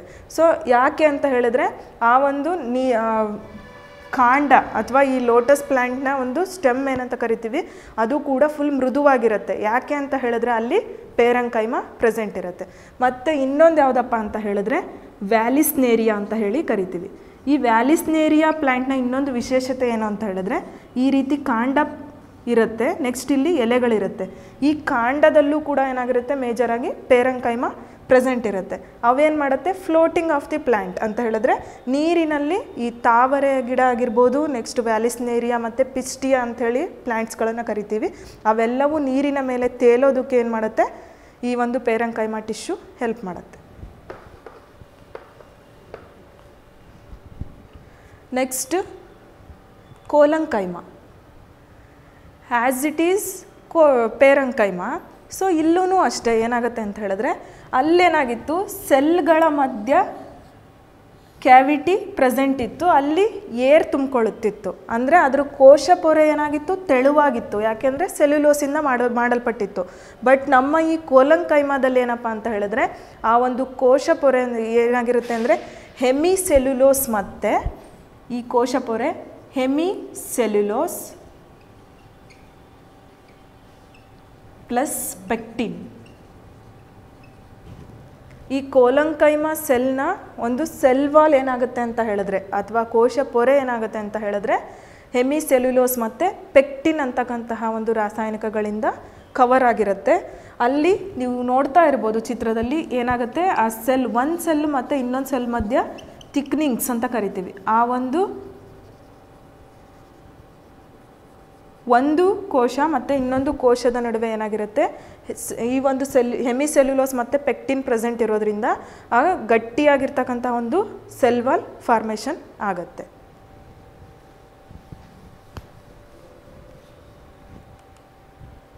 Next one sclerenchyma. ಅಂದರೆ ಈ ಸ್ಕ್ಲೀರಂಕೈಮ ಏನು ಅಂತ ಹೇಳಿದ್ರೆ ಹಾರ್ಡ್ ಟಿಶ್ಯೂ ಅಂತ ಹೇಳಿ ಕರಿತೀವಿ. ಈ ಸ್ಕ್ಲೀರಂಕೈಮದ್ದು ಇನ್ನೊಂದು ಸ್ಪೆಷಾಲಿಟಿ ಏನಂತ ಹೇಳಿದ್ರೆ, ಈ ಒಂದು ಸ್ಕ್ಲೀರಂಕೈಮಾದ ಸೆಲ್ ವಾಲ್ ಅಂತ ಹೇಳಿದ್ರೆ, ಹಿಂಗೊಂದು ಸೆಲ್ ಇದೆ ಅಂತ ಹೇಳಿದ್ರೆ, ಆ ಸೆಲ್ ವಾಲ್ ಏನಾಗಿರುತ್ತೆ ಅಂತ ಹೇಳಿದ್ರೆ, ಲಿಗ್ನಿನ್ ಅಂತಕ್ಕಂತಹ ಒಂದು ರಾಸಾಯನಿಕದಿಂದ ಮಾಡಲ್ಪಟ್ಟಿರುತ್ತೆ. ಲಿಗ್ನಿನ್. ಸೊ ನಾವು ಫಸ್ಟ್ ಹೇಳಿದ್ವಿ ಪೇರಂಕೈಮ ಏನ ಸೆಲ್ವಾಲ್ ಏನಾಗಿರುತ್ತೆ ಅಂತ ಹೇಳಿದ್ರೆ ಸೆಲ್ಯುಲೋಸಿಂದ ಕವರ್ ಆಗಿರುತ್ತೆ, ಅಂದರೆ ಮೃದುವಾಗಿರುತ್ತೆ ಅದರ ಕೋಶಪೊರೆ ನೆಕ್ಸ್ಟು ಕೋಲಂಕೈಮ. ಆ ಕೋಲಂಕೈಮದ ಒಂದು ಸೆಲ್ವಾಲ್ ಏನಾಗಿರುತ್ತೆ ಅಂತ ಹೇಳಿದ್ರೆ ಪೆಕ್ಟಿನ್ ಮತ್ತು ಹೆಮಿಸೆಲ್ಯುಲೋಸ್ ಅಂತ ಹೇಳಿದ್ರೆ, ಒಂದು ಕೋಶ ಮತ್ತು ಇನ್ನೊಂದು ಕೋಶದ ಮಧ್ಯೆ ಏನಾಗಿರುತ್ತೆ, ಆ ಒಂದು ದ್ರವ ಗಟ್ಟಿಯಾಗಿ ಇರುತ್ತೆ. ಆದರೆ, ನಮ್ಮ ಈ ಸ್ಕ್ಲೀರಂಕೈಮಾದಲ್ಲಿ ಏನಾಗುತ್ತೆ ಅಂದರೆ ಲಿಗ್ನಿನ್ ಡಿಪಾಸಿಷನ್ ಲಿಗ್ನಿನ್ ಡಿಪಾಸಿಷನ್ ಆಯಿತು ಅಂತ ಹೇಳಿದ್ರೆ, ಅಂದರೆ ಲಿಗ್ನಿನ್ನ ಒಂದು ದ್ರವ ಹೆಚ್ಚಾಗ್ತಾ ಹೋಯಿತು ಅಂತ ಹೇಳಿದ್ರೆ ಅಲ್ಲಿರ್ತಕ್ಕಂತಹ ಟಿಶ್ಯೂಸ್ ಏನಾಗುತ್ತೆ? ಫುಲ್ ಹಾರ್ಡ್ ಆಗುತ್ತೆ. ಅಥವಾ ಪ್ರೌಢಾವಸ್ಥೆಯನ್ನು ತಲುಪಿದಂತಹ ಪ್ಲ್ಯಾಂಟ್ ಈ ಸ್ಕ್ಲೀರಂಕೈಮವನ್ನು ಹೊಂದಿತ್ತು ಅಂತ ಹೇಳಿದ್ರೆ, ಆ ಲಿಗ್ನಿನ್ ಡಿಪಾಸಿಷನನ್ನು ಜಾಸ್ತಿ ಪ್ರಮಾಣದಲ್ಲಿ ಹೊಂದಿತ್ತು ಅಂತ ಹೇಳಿದ್ರೆ, ಅಲ್ಲಿ ನಾವು ಕರಿತಾ ಹೋಗ್ತೀವಿ ಸ್ಟೋನ್ ಸೆಲ್ ಅಂತ ಹೇಳಿ. ಸ್ಟೋನ್ ಸೆಲ್ಸ್ ಅಂತ ಹೇಳಿದ್ರೆ ಕಲ್ಲು ಕೋಶ ಏನಿದು ಕಲ್ಲು ಕೋಶ ಅಂತ ಹೇಳಿದ್ರೆ, ಏನೂ ಇಲ್ಲ. ಅಲ್ಲಿ ಏನಾಗುತ್ತೆ? ಆ ಲಿಗ್ನಿನ್ನ ಪ್ರಮಾಣ ಸೆಲ್ ವಾಲ್ನಲ್ಲಿ ಹೆಚ್ಚಾದಾಗ ಅಲ್ಲೇನಾಗುತ್ತೆ? ಆ ಸೆಲ್ ಅಥವಾ ಟಿಶ್ಯೂ ಏನಾಗುತ್ತೆ? ಫುಲ್ ಗಟ್ಟಿಯಾಗತ್ತೆ. ಆ ಒಂದು ಗಟ್ಟಿಯಾಗಿರ್ತಕ್ಕಂತಹ ಕೋಶಗಳಿಗೆ ನಾವೇನಂತ ಕರಿತೀವಿ? ಕಲ್ಲು ಕೋಶ ಅಂತ ಹೇಳಿ ಕರಿತೀವಿ. ಹಾಗಿದ್ರೆ ಇವಾಗ ಅಂದರೆ ಇದು ಎಲ್ಲ ಟಿಶ್ಯೂ ಸತ್ತೋಗ್ಬಿಟ್ಟಿರುತ್ತೆ. ನೆಕ್ಸ್ಟ್ ಏನು ಯೂಸು ಲಿಗ್ನಿನ್ ಡಿಪಾಸಿಷನ್ ಅಷ್ಟು ಹಾರ್ಡ್ ಆಗಿದೆ. ಮತ್ತು ಸ್ಕ್ಲೀರಂಕೈಮ ಪ್ಲ್ಯಾಂಟಲ್ಲಿ ಪ್ರೆಸೆಂಟ್ ಇರೋದ್ರಿಂದ ಏನು ಯೂಸು ಅಂತ ನೀವೆಲ್ಲರೂ ಕ್ಯೂರಿಯಾಸಿಟಿಯಾಗಿ ಕಾಯ್ತಾ ಇರ್ತೀರಾ? ಸೊ ಅದರದ್ದು ಸ್ಕ್ಲೀರಂಕೈಮ ಹಾಂ, ಇಲ್ಲಿ ನೋಡ್ಬೋದು ನೀವು. ನೆಕ್ಸ್ಟು ಈ ಸ್ಕ್ಲೀರಂಕೈಮ ಟಿಶ್ಯೂನ ಅಥವಾ ಒಂದು ಭಾಗವನ್ನು ನಾವು ತೆಗೆದಾಗ ಅಗೇನ್ ಹೆಕ್ಸಾಗೋನಲ್ ಶೇಪ್ ಕಾಣಿಸುತ್ತೆ. ಸೊ ಅದನ್ನು ಟ್ರಾನ್ಸ್ಫರ್ ಸೆಕ್ಷನ್ ಮಾಡಿದಾಗ, ಇದನ್ನು ಕೂಡ ಅಷ್ಟೇ ನಾವು ಬರಿಗಣ್ಣಿಂದ ನೋಡ್ತೀವಿ ಅಂತ ಅಂದರೆ ಆಗಲ್ಲ. ನೆಕ್ಸ್ಟ್ ಏನಾಗುತ್ತೆ ಅಂತ ಹೇಳಿದ್ರೆ ಮೈಕ್ರೋಸ್ಕೋಪಲ್ಲಿ ಇಟ್ಟು ಅದನ್ನು ನೋಡಿದಾಗ ಏನಾಗುತ್ತೆ ಅಂತ ಹೇಳಿದ್ರೆ, ಈ ರೀತಿ ತಿಕ್ನಿಂಗ್ಸ್ ಕಂಡುಬರುತ್ತೆ ಸೊ ಅಲ್ಲಿ ನೀವು ನೋಡ್ತಾ ಇದ್ದೀರಾ ಲಿಗ್ನಿಫೈಡ್ ತಿಕ್ ವಾಲ್ ಅಂತ ಹೇಳಿ ಹೇಳಿದ್ದಾರೆ. ಅಂದರೆ ಆ ಒಂದು ಒಂದು ಟಿಶ್ಯೂನ ಅಥವಾ ಒಂದು ಭಾಗವನ್ನು ತೆಗೆದು ನಾವೇನಾದ್ರು ಮೈಕ್ರೋಸ್ಕೋಪ್ ಕೆಳಗಡೆ ಇಟ್ಟು ನೋಡಿದ್ವಿ ಅಂತ ಹೇಳಿದ್ರೆ, ಇಲ್ಲಿ ಏನಾಗಿರುತ್ತೆ ಅಂತ ಹೇಳಿದ್ರೆ ಲಿಗ್ನಿನ್ ಡಿಪಾಸಿಷನ್ ಆ ಲಿಗ್ನಿನ್ ಅಂತಕ್ಕಂಥ ಒಂದು ಅಂಶ ಅಲ್ಲೇನಾಗಿರುತ್ತೆ? ಶೇಖರಣೆ ಆಗಿರುತ್ತೆ ಆ ಸೆಲ್ ವಾಲಲ್ಲಿ ಅದಕ್ಕೋಸ್ಕರ ಇದೇನಾಗಿರುತ್ತೆ ಅಂತ ಹೇಳಿದ್ರೆ ಡೆಡ್ ಟಿಶ್ಯೂ ಆಗಿ ಅಥವಾ ಹಾರ್ಡ್ ಗಟ್ಟಿ ಟಿಶ್ಯೂ ಅಂಗಾಂಶವಾಗಿ ಮಾರ್ಪಾಟಾಗುತ್ತೆ ಸೊ ಇದರಿಂದ ಏನು ಯೂಸ್ ಆಗುತ್ತೆ ನಮಗೆ ಅಂತ ಹೇಳಿದ್ರೆ ಫಸ್ಟ್ಲಿ ಇಲ್ಲಿ ನಿಮಗೆಲ್ಲ ಕಾಣಿಸ್ತಾ ಇರ್ಬೋದು, ನೀವೆಲ್ಲ ನೋಡಿರ್ತೀರ, ಗೋಣಿ ಚೀಲ ಅಂತ ಹೇಳಿ ಕರಿತೀವಿ. ಅಂದರೆ ಜೂಟ್ ಫೈಬ್ರೆ ಅಂತ ಹೇಳಿ ಕರಿತೀವಿ. ಈ ಜೂಟ್ ಫೈಬ್ರೆ ಅಂತ ಹೇಳಿದ್ರೆ ಇದರಲ್ಲಿ ಏನಾಗುತ್ತೆ ಅಂತ ಹೇಳಿದ್ರೆ ಸ್ಕ್ಲೀರಂಗ್ ಕೈಮ ಫೈಬ್ರೆ ರೂಪದಲ್ಲಿ ಅಂತ ಹೇಳಿದ್ರೆ ಒಂದು ಫೈಬರ್ ನಾರಿನ ರೂಪದಲ್ಲಿ ಪ್ರೆಸೆಂಟ್ ಇರುತ್ತೆ. ಅಂದರೆ ಇವಾಗ ನೀವು ಗೋಣಿ ಚೀಲ ಗೋಣಿ ಚೀಲ ಏನಕ್ಕೆ ಯೂಸ್ ಮಾಡ್ತೀರಾ? ಆ್ಯಸ್ ಯೂಶುವಲ್ ಹೋಮಲ್ಲಿ ಕಾಲು ಒರೆಸ್ಕೊಳಕ್ಕಾಗಿರ್ಬೋದು ನೆಕ್ಸ್ಟ್ ಮಳೆಗಾಲದಲ್ಲಿ ತಲೆ ಮೇಲೆ ಹಾಕ್ಕೊಳಕ್ಕಾಗಿರ್ಬೋದು ಅದಕ್ಕೆ ಯೂಸ್ ಮಾಡ್ತೀರಾ? ಯಾಕೆ ಅಂತ ಹೇಳಿದ್ರೆ ಅದು ಡೆಡ್ ಟಿಶ್ಯೂ ಅಲ್ವಾ? ಅದೇನು ಮಾಡುತ್ತೆ? ನೀರನ್ನು ಜಾಸ್ತಿ ಅಬ್ಸರ್ವ್ ಮಾಡ್ಕೊಳ್ಳುತ್ತೆ ಅಂದರೆ ಫ್ಲೆಕ್ಸಿಬಿಲಿಟಿ, ಬರೀ ಗೋಣಿ ಚೀಲ ಮಾಡೋಕ್ಕೆ ಯೂಸ್ ಮಾಡಲ್ಲ. ಇವಾಗ ಅಂಗಡಿಗಳಲ್ಲೆಲ್ಲ ಮಾರೋದು ನೋಡಿರ್ತೀರ ನೀವು. ಇದ್ರದ್ದು ದಾರಗಳನ್ನು ಮಾಡ್ತಾರೆ, ಹಗ್ಗಗಳನ್ನು ಮಾಡ್ತಾರೆ. ಅಂದರೆ ಈ ಜೂಟ್ ಫೈಬ್ರೆಯನ್ನು ಯೂಸ್ ಮಾಡಿಕೊಂಡು ಡೈಲಿ ಲೈಫಲ್ಲಿ ಅದರ ಬಳಕೆಯನ್ನು ಮಾಡ್ತಾರೆ. ಸೊ ಈ ಫೈಬ್ರೆನಲ್ಲಿ ಪ್ರೆಸೆಂಟ್ ಇರೋದು sclerenchyma tissues. Next another one example ನೋಡಬೇಕು ಅಂತ ಹೇಳಿದ್ರೆ, ಇದೇನು ಒಂಥರ ಭೂಕಂಪದ ಥರ ಕಾಣಿಸ್ತಾ ಇದೆಯಲ್ಲ, ಜ್ವಾಲಾಮುಖಿ ಥರ ಅಂತ ಅನ್ಕೊಳಕ್ಕೆ ಹೋಗ್ಬಿಡ್ರಿ. ಇಲ್ಲೇನಾಗುತ್ತೆ ಅಂತ ಹೇಳಿದ್ರೆ, ಕಲ್ಲು ಕೋಶ ಅಂತ ನಾನು ಆವಾಗಲೇ ಹೇಳಿದೆ ಸ್ಟೋನ್ ಸೆಲ್ಸು ಇಲ್ಲೇನಾಗುತ್ತೆ ಅಂತ ಹೇಳಿದ್ರೆ ಲುಮೆನ್ ಅಂತ ಹೇಳಿ ಕರಿತೀವಿ. ಇವಾಗ ಇದು ಒಂದು ತೆಂಗಿನಕಾಯಿ ಅಂತ ತಗೊಂಡ್ರೆ ಫಸ್ಟ್ ಏನು ಸಿಗುತ್ತೆ? ಸಿಗ್ತವೆ. ನಾವು ತೆಂಗಿನಕಾಯಿ ತೊಗೊಂಡ ತಕ್ಷಣ ಕೊಬ್ಬರಿ ಅಂತೇಳಿ ಬಾಯಿಗೆ ಹಾಕ್ಕೊಳ್ಳಲ್ಲ ಯಾಕೆ ಅಂತ ಹೇಳಿದ್ರೆ ಅದಕ್ಕೊಂದು ಪ್ರೊಟೆಕ್ಟಿವ್ ಲೇಯರ್ ಕವರ್ ಆಗಿರುತ್ತೆ. ಆ ಲೇಯರ್ ಯಾವುದಪ್ಪ ಅಂತ ಹೇಳಿದ್ರೆ ಆ ತೆಂಗಿನ ಚಿಪ್ಪು ಅಂತ ಹೇಳಿ ಕರಿತೀವಿ. ಇಲ್ಲಿ ಲುಮೆನ್ ಆಫ್ ದಿ ಸೆಲ್ ಅಂತ ಹೇಳಿದ್ರೆ ಸೆಂಟ್ರ್ ಆಫ್ ದಿ ಸೆಲ್ಲಲ್ಲಿ ಏನಾಗುತ್ತೆ? ಕೊಬ್ಬರಿ ಪ್ರೆಸೆಂಟ್ ಇರುತ್ತೆ. ಅದ್ರ ಮಧ್ಯ ಎಳ್ನೀರು ಇರುತ್ತೆ. ಎಳ್ನೀರು ಕೊಬ್ಬರಿಯನ್ನು ಯೂಸ್ ಮಾಡ್ಕೊತೀವಿ ಉಳಿದಿದ್ದನ್ನು ಬಿಸಾಕ್ತೀವಿ. ಅಲ್ಲ ನಾವೆಲ್ಲ ನಾವು ನೀವೆಲ್ಲ ಆದರೆ ಬಿಸಾಕ್ತೀವಿ. ಆದರೆ ಈ ಉದ್ಯೋಗವನ್ನು, ಉದ್, ಉದ್ದಿಮೆಯನ್ನು ಸ್ಟಾರ್ಟ್ ಮಾಡ್ತಕ್ಕಂಥವ್ರು ಏನು ಮಾಡ್ತಾರೆ ಅಂತ ಹೇಳಿದ್ರೆ ಆ ಒಂದು ಸಿಪ್ಪೆಯನ್ನು, ತೆಂಗಿನ ಚಿಪ್ಪನ್ನು ತಗೊಂಡು ಏನು ಮಾಡ್ತಾರೆ? ಅದರಲ್ಲಿರ್ತಕ್ಕಂತಹ ಸ್ಕ್ಲೀರಿಡ್ ಸೆಲ್ಸ್ ಸ್ಕ್ಲೀರಿಡ್ ಸೆಲ್ಸ್ ಅಂದರೆ ಸ್ಕ್ಲೀರಿಡ್ ಕೋಶಗಳು ಅಂತ ಹೇಳಿ ಕರಿತೀವಿ. ಅದರಿಂದ ಏನು ಮಾಡ್ತಾರೆ? ಕತ್ತದ ಹಗ್ಗಗಳನ್ನು ತಯಾರಿಸೋದು. ನೆಕ್ಸ್ಟು ಮ್ಯಾಟ್ಗಳನ್ನು ಅಂತ ಹೇಳಿದ್ರೆ ಕಾಲು ಒರೆಸ್ಕೊಳ್ಳೋ ಮ್ಯಾಟ್ಗಳನ್ನು ಕೂಡ ಏನು ಮಾಡ್ತಾರೆ ಅಂತ ಹೇಳಿದ್ರೆ ಈ ಸ್ಕ್ಲೀರಿಡ್ ಹೆಲ್ಪಿಂದ ತಯಾರು ಮಾಡ್ತಾರೆ.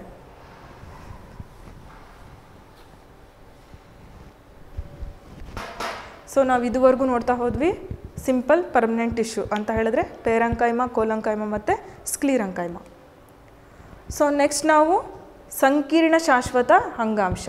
ಸೊ ಅಗೇನ್ ಮತ್ತೆ ಸಂಕೀರ್ಣ ಶಾಶ್ವತ ಅಂಗಾಂಶದಲ್ಲಿ majorly there are two parts first one is xylem and second one phloem ಅದರಲ್ಲಿ ಮೊದಲನೇದಾಗಿ ನಾವು ಗ್ಸೈಲಮ್ ಅಂತ ಹೇಳಿದ್ರೆ ಎಲ್ರಿಗೂ ನಮಗೆ ಗೊತ್ತಿರುತ್ತೆ ಗ್ಸೈಲಮ್ ಅಂದ ತಕ್ಷಣ ನೆನಪು ಬರೋದೇನಂತ ಹೇಳಿದ್ರೆ ನೀರು ಸಾಗಾಣಿಕಾ ಅಂಗಾಂಶ. ನೀರು ಸಾಗಾಣಿಕಾ ಅಂಗಾಂಶ ಅಂತ ಹೇಳಿದ್ರೆ ನೀರನ್ನು ಸಸ್ಯದ ಎಲ್ಲ ಭಾಗಗಳಿಗೂ ಸಪ್ಲೈ ಮಾಡ್ತಕ್ಕಂಥ ಒಂದು ಅಂಗಾಂಶ. ಅದಕ್ಕೇನಂತ ಕರಿತೀವಿ ಅಂತ ಹೇಳಿದ್ರೆ ಝೈಲಮ್ ಅಂತ ಹೇಳಿ ಕರಿತೀವಿ. ಇವಾಗ ನಾವು ನೀವೆಲ್ಲ ವಾಟರ್ ಬಾಟ್ಲು ಈಸಿಯಾಗಿ ಓಪನ್ ಮಾಡ್ಕೊಂಡು ಕುಡಿದಷ್ಟು ಸುಲಭವಾಗಿ ಅದು ಪ್ಲ್ಯಾಂಟ್ ಭೂಮಿ ನೀರು ಹಾಕ್ತೀವಿ ಪ್ಲ್ಯಾಂಟಿಗೆ ಅದು ಕುಡಿದ್ಬಿಡಲ್ಲ. ಸೊ ಅದಕ್ಕೆ ಆಗಿರ್ತಕ್ಕಂತಹ ಪರ್ಟಿಕ್ಯುಲರ್ ಪಾರ್ಟ್ಸ್ ಇರುತ್ತೆ, ಅಂದರೆ ಭಾಗಗಳಿರುತ್ತೆ. ಆ ಒಂದು ಭಾಗಗಳು ಯಾವುದಪ್ಪ ಅಂತ ಹೇಳಿದ್ರೆ first xylem parenchyma next one is xylem tracheids xylem vessels ಮತ್ತು ಝೈಲಮ್ ಫೈಬರ್ಸ್ ಇದರಲ್ಲಿ ನಮಗೆ ಮೇಜರ್ ಆಗಿ ಝೈಲಮಲ್ಲಿ ಫೋರ್ ಟೈಪ್ಸ್ ಅಂದರೆ ನಾಲ್ಕು ಭಾಗಗಳನ್ನು ನಾವು ಮೇಜರಾಗಿ ನೋಡ್ತೀವಿ. ಸೊ ಅದರಲ್ಲಿ ಝೈಲಮ್ ಪೇರಂಕೈಮ. ಸೊ ನಾವು ನೋಡಿದ್ವಿ xylem parenchyma xylem tracheids xylem vessels ಮತ್ತು ಝೈಲಮ್ ಫೈಬರ್ಸ್ ಸೊ ಆ ನಾಲ್ಕು ಟೈಪಲ್ಲಿ ಮೊದಲನೇದಾಗಿ ನಾವು ನೋಡ್ತಾ, ನೋಡೋಕೆ ಹೋಗ್ತಾ ಇರೋದು ಗ್ಸೈಲಮ್ ಪೇರಂಕೈಮ. ಈ ಗ್ಸೈಲಮ್ ಪೇರಂಕೈಮ ಏನಪ್ಪ ಅಂತ ಹೇಳಿದ್ರೆ ಸಜೀವ ಗ್ಸೈಲಮ್ ಅಂದರೆ ಲೀವಿಂಗ್ ಟಿಶ್ಯೂ ಅಂತ ಹೇಳಿ ಕರಿತೀವಿ. ಅಂದರೆ ಸಜೀವ ಜೈಲಮ್ ಅಂತ ಹೇಳಿದ್ರೆ ಇವು ಏನು ಮಾಡುತ್ತೆ? ನೀರನ್ನು ಸಾಗಾಣಿಕೆ ಮಾಡೋದಕ್ಕೆ ಹೆಲ್ಪ್ ಮಾಡ್ತಕ್ಕಂತಹ ಒಂದು ಅಂಗಾಂಶ. ಸೊ ನೆಕ್ಸ್ಟು ಅದರಲ್ಲಿ ಮತ್ತೆ ಎಗೈನ್ ಮತ್ತೆ ಉಳಿದಿರ್ತಕ್ಕಂತಹ ಪಾರ್ಟ್ ಇನ್ನು ಮೂರು ಭಾಗಗಳೇನಾಗಿರುತ್ತೆ ಅಂದರೆ ನಿರ್ಜೀವ ಗ್ಸೈಲಮ್ ಫ್ರೆಂಡ್ಸ್ ನಾವಿಲ್ಲಿ ನೆನ್ಪಿಟ್ಕೋಬೇಕು, ಸಜೀವ ಅಂತ ಹೇಳಿದ್ರೆ ಕ್ಸೈಲಮ್ ಪೇರಂಕೈಮ ಒಂದನ್ನೇ ನೋಡ್ತೀವಿ. ನಿರ್ಜೀವ ಅಂತ ಹೇಳಿದ್ರೆ ಟ್ರೇಕಿಡ್ಸ್ ವೆಸಲ್ಸ್ ಮತ್ತು ಫೈಬರ್ಸ್ ಸೊ ಇದ್ರ ಎಲ್ಲ ಈ ಒಂದು ಝೈಲಮ್ನ ಪ್ರಮುಖ ಕಾರ್ಯ ಏನು ಅಂತ ಹೇಳಿದ್ರೆ ನಾವು ನಮ್ಮ ನಿಮಗೆಲ್ಲ ಗೊತ್ತು, ನೀರನ್ನು ಸಾಗಾಣಿಕೆ ಮಾಡೋದು. ನಾವಲ್ಲಿ ನೋಡ್ತಾ ಇದ್ದೀವಿ ಜೈಲಂ ಪೇರಂಕೈಮ. ಫಸ್ಟು ನಾವು ಹೇಳಿದ ಯಾವುದು? ಪೇರಂಕೈಮ. ಈ ರೀತಿ ಒಂದ್ರ ಮೇಲೆ ಒಂದು ಏನಾಗಿರುತ್ತೆ? ಆ ಸೆಲ್ಗಳು ಅರೇಂಜ್ ಆಗಿರುತ್ತೆ. ಅಂದರೆ ಜೋಡಣೆ ಆಗಿರುತ್ತೆ. ನಾವು ಹೇಳಿದ್ವಿ ಸಜೀವ ಝೈಲಮ್ ಅಂದರೆ ಲೀವಿಂಗ್ ಟಿಶ್ಯೂ ಅಂದರೆ ಲೀವಿಂಗ್ ಝೈಲಮ್ ಅಂತ ಹೇಳಿ ಹೇಳಿದ್ವಿ. ಇದೇನು ಮಾಡುತ್ತೆ? ಒಂದು ಕೋಶದಿಂದ ಇನ್ನೊಂದು ಕೋಶಕ್ಕೆ ಏನಾಗುತ್ತೆ? ನೀರನ್ನು ಸಾಗಾಣಿಕೆಯನ್ನು ಮಾಡೋದಕ್ಕೆ ನಮಗೆ ಹೆಲ್ಪ್ ಆಗುತ್ತೆ. ಸೊ ನೆಕ್ಸ್ಟಲ್ಲಿ ನಾವು ನೋಡ್ತಾ ಇದ್ದೀವಿ ಟ್ರೇಕಿಡ್ಸು ವೆಸಲ್ಸು ಮತ್ತು ಫೈಬರ್ಸ್ ಇವು ಏನು ವರ್ಕ್ ಮಾಡಲ್ವಾ ಹಾಗಿದ್ರೆ ಅಂತ ಹೇಳಿದ್ರೆ, ಇಲ್ಲಿ ಏನಾಗುತ್ತೆ? ಜೈಲಂ ಪೇರಂಕೈಮ ಇದೆ. ಆಯಿತಾ? ಅದೇನು ಮಾಡ್ತಾ ಇದೆ? ಒಂದು ಸಲ್ಲಿನ ಇನ್ನೊಂದು ಸಲ್ಲಿಗೆ ನೀರನ್ನು ಕಂಡಕ್ಟ್ ಮಾಡ್ತಾ ಇದೆ. ಹಾಗಿದ್ರೆ ಉಳ್ದು ಟ್ರೇಕಿಡ್ಸು ವೆಸಲ್ಸ್ ಏನು ಸಪೋರ್ಟ್ ಮಾಡಲ್ಲ, ಮಾಡುತ್ತೆ. ಅಂದರೆ ಆ ನೀರು ಸಾಗಾಣಿಕೆ ಆಗಬೇಕು ಅಂತ ಹೇಳಿದ್ರೆ, ಏನು ಈ ಒಂದು ಟ್ರೇಕಿಡ್ಸ್ ಮತ್ತು ವೆಸಲ್ಸು ಮತ್ತು ಫೈಬರ್ಸ್ ಏನಾಗುತ್ತೆ? ಸಪೋರ್ಟಿವ್ ಅಂದರೆ ಸಪೋರ್ಟಿಂಗ್ ಕ್ಯಾರೆಕ್ಟರ್ ಅಂದರೆ ನೀರು ಒಂದು ಕೋಶದಿಂದ ಇನ್ನೊಂದು ಕೋಶಕ್ಕೆ ಹೋಗಬೇಕಾದ್ರೆ ಇದೇ ರೀತಿ ಹೋಗಲ್ಲ. ಕೆಲವೊಂದು ಸಲ ಏನಾಗುತ್ತೆ? ಈ ರೀತಿ. ಅಂದರೆ ಸ್ಪೈರಲ್ ನಿಮಗೆಲ್ಲ ಗೊತ್ತಾಗ್ತಿದೆ ಸ್ಪ್ರಿಂಗ್ ಲೈಕ್ ಸ್ಟ್ರಕ್ಚರ್ ಅಂತ ಹೇಳಿ ಕರಿತೀವಿ. ಅಂದರೆ ಅಲ್ಲಿ ಗೊತ್ತಾಗ್ತಿದೆ ನಮಗೆ ಟ್ರೇಕಿಡ್ಸ್ ನೋಡ್ತಾ ಇದ್ದೀರಾ ಫೈಬರ್ಸ್ ನೋಡ್ತಾ ಇದ್ದೀರಾ, ಮತ್ತು ವೆಸಲ್ಸ್ ವೆಸಲ್ಸಲ್ಲಿ ಏನಾಗುತ್ತೆ ಅಂತ ಹೇಳಿದ್ರೆ ಈ ರೀತಿ. ಒಂದು ಕೋಶದಿಂದ ಇನ್ನೊಂದು ಕೋಶಕ್ಕೆ ನೀರು ಏನಾಗುತ್ತೆ? ಆ್ಯನ್ಯುವಲ್ ಆ್ಯನ್ಯುಲಾರ್ ಲೈಕ್ ಸ್ಟ್ರಕ್ಚರ್ ಅಂತ ಹೇಳಿ ಕರಿತೀವಿ. ಆ ರೀತಿ ವರ್ಗಾವಣೆ ಆಗೋದಕ್ಕೆ ಹೆಲ್ಪ್ ಮಾಡುತ್ತೆ. ಇದಿಷ್ಟೇ ಈಸಿ ಕಾನ್ಸೆಪ್ಟು ಇವಾಗ ನಮಗೆ ನೀರು ಬೇಕು ವಾಟರ್ ಬಾಟ್ಲಲ್ಲಿ ನೀರಿದೆ. ಹಾಗಂತ ಹೇಳಿ ವಾಟರ್ ಬಾಟ್ಲು ನಿರ್ಜೀವ. ಅಂದರೆ ನಮಗೆ ನೀರು ಬೇಕು. ಅಂದರೆ ನಾವು ಸಜೀವಿಗಳು ಬದುಕೋಕ್ಕೋಸ್ಕರ ಆ ವಾಟರ್ ಬಾಟ್ಲ್ ನೀರನ್ನು ಯೂಸ್ ಮಾಡ್ಕೋತಾ ಇದ್ದೀವಿ. ಹ್ಯಾಸ್ ಇಟ್ ಈಸ್ ನಮ್ಮ ಜೈಲಂ ಪೇರಂಕೈಮ ವರ್ಕ್ ಮಾಡಬೇಕು ಅಂತ ಹೇಳಿದ್ರೆ ಈ ಟ್ರೇಕಿಡ್ಸು ಫೈಬರ್ಸು ಮತ್ತು ವೆಸಲ್ಸ್ ಏನು ಮಾಡುತ್ತೆ? ಸಪೋರ್ಟಿವ್ ಆಗಿ ವರ್ಕ್ ಮಾಡುತ್ತೆ. So next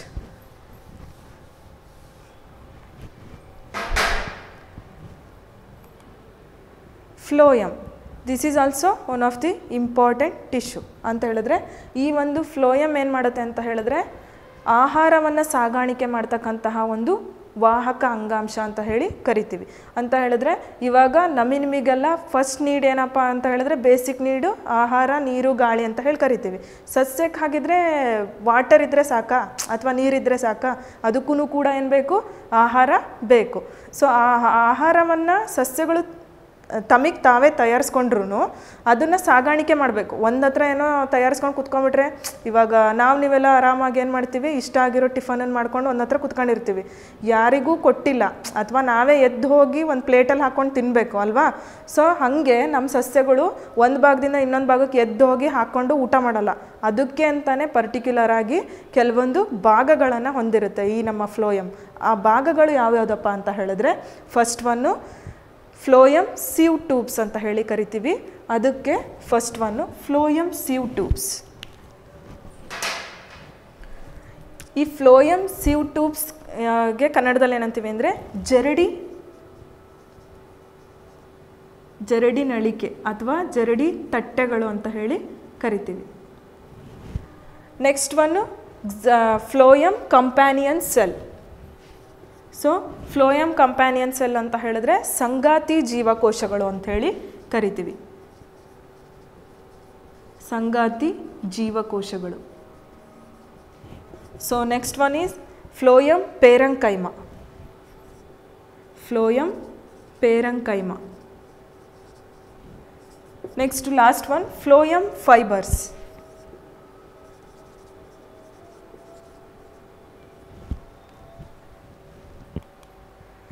so ಈ ಸಜೀವ ಶಾಶ್ವತ ಅಂಗಾಂಶ ಅಥವಾ ಫ್ಲೋಯಮ್ನಲ್ಲೂ ಕೂಡ ಏನಾಗುತ್ತೆ ಅಂತ ಹೇಳಿದ್ರೆ ಮತ್ತೆ ನಾಲ್ಕು ಟೈಪ್ಸ್ ನೋಡಿದ್ವಿ ನಾವು. ಅದರಲ್ಲಿ ಈ ಫ್ಲೋಯಮ್ ಸೀವ್ ಟ್ಯೂಬ್ಸು ಅಂದರೆ ಜರಡಿ ತಟ್ಟೆಗಳು ಮತ್ತು ಸಂಗಾತಿ ಜೀವಕೋಶಗಳು ಮತ್ತು ಫ್ಲೋಯಮ್ ಪೇರಂಕೈಮ.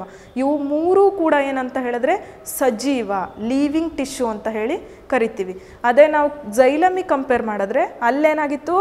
ಒಂದು ಮಾತ್ರ ಸಜೀವ ಝೈಲಮ್ ಆಗಿತ್ತು ಯಾವುದು? Xylem parenchyma. ಬಟ್ ಇಲ್ಲಿ ಮೂರು ಕೂಡ ಅಂದರೆ ಫ್ಲೋಯಂ ಪೇರಂಕೈಮ ಆಗಿರ್ಬೋದು, ಫ್ಲೋಯಂ ಸಿವ್ ಟ್ಯೂಬ್ ಆಗಿರ್ಬೋದು, ಫ್ಲೋಯಂ ಕಂಪ್ಯಾನಿಯನ್ ಸೆಲ್ ಆಗಿರ್ಬೋದು. ಇದು ಮೂರು ಕೂಡ ಏನಾಗುತ್ತೆ ಅಂತ ಹೇಳಿದ್ರೆ ಲೀವಿಂಗ್ ಟಿಶ್ಯೂ ಸಜೀವ ಅಂಗಾಂಶದ ರೀತಿಯಲ್ಲಿ ಕಾರ್ಯನಿರ್ವಹಿಸುತ್ತೆ. ನೆಕ್ಸ್ಟ್ ನಿರ್ಜೀವ ಶಾಶ್ವತ ಅಂಗಾಂಶ ಅಂತ ಹೇಳಿದ್ರೆ ನಿರ್ಜೀವ. ಅಂತ ಹೇಳಿದ್ರೆ ಜೀವ ಇಲ್ಲದೆ ಅದು ಯಾವುದು ಅಂತ ಹೇಳಿದ್ರೆ ಈ ನಮ್ಮ ಫ್ಲೋಯಮ್ ಫೈಬರ್ಸ್. ಇದು ಮೂರು ಏನಾಗುತ್ತೆ? ಸಜೀವ ಫ್ಲೋಯಮ್ ಅಂತ ಹೇಳಿ ಕರಿತೀವಿ.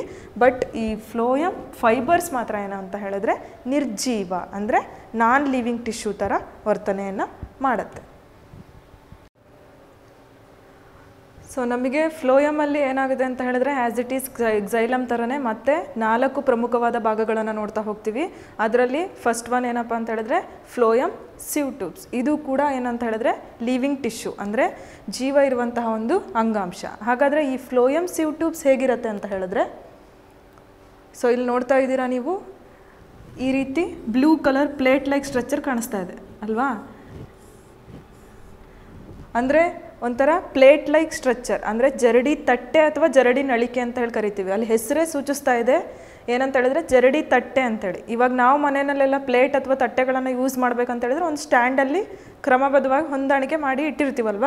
ಆ್ಯಸ್ ಇಟ್ ಈಸ್ ನಮ್ಮ ಫ್ಲೋಯಮ್ ಕೂಡ ಏನಂತ ಹೇಳಿದ್ರೆ ಈ ಒಂದು ಜರಡಿ ತಟ್ಟೆಗಳನ್ನು ಹೊಂದಿರುತ್ತೆ ಅಂತ ಹೇಳಿದ್ರೆ ಇದಕ್ಕೂ ಕೂಡ ಏನಂತ ಹೇಳಿದ್ರೆ ಒಂದು ಸಪೋರ್ಟಿವ್ ಸ್ಟ್ರಕ್ಚರ್ ಬೇಕು. ಸುಮ್ಮನೆ ಅದು ನಿಂತ್ಕೊಳ್ಳೋದಿಲ್ಲ. ಅಲ್ಲಿ ಪ್ರಮುಖವಾಗಿ ಏನಂತ ಹೇಳಿದ್ರೆ ಸ್ನೇಹಿತರೆ, ಇಲ್ಲಿ ನೋಡ್ಬೋದು ನೀವು ಆ ಜರಡಿ ತಟ್ಟೆಗಳು ಅಂತ ಹೇಳಿದ್ರೆ ನೀವು ಮನೇಲೆಲ್ಲ ಯೂಸ್ ಮಾಡಿರ್ತೀರಾ? ಅಂದರೆ ಜರಡಿಗಳನ್ನು ಯೂಸ್ ಮಾಡಿ ಏನಕ್ಕೆ ಯೂಸ್ ಮಾಡ್ತಾರೆ? ಆಟಾಡೋಕ್ಕೆ ಯೂಸ್ ಮಾಡಲ್ಲ. ಏನು ಮಾಡ್ತಾರೆ? ಆ ದವಸ ಧಾನ್ಯಗಳಲ್ಲಿರ್ತಕ್ಕಂಥ ಒಂದು ಕಲ್ಮಶ ಪದಾರ್ಥಗಳು ಅಂತಲೇ ಹೇಳ್ಬೋದು. ಅವನ್ನೆಲ್ಲ ತಗ್ಗಕ್ಕೆ ಏನು ಮಾಡ್ತಾರೆ ಅಂತ ಹೇಳಿದ್ರೆ ಅದನ್ನು ಯೂಸ್ ಮಾಡ್ತಾರೆ.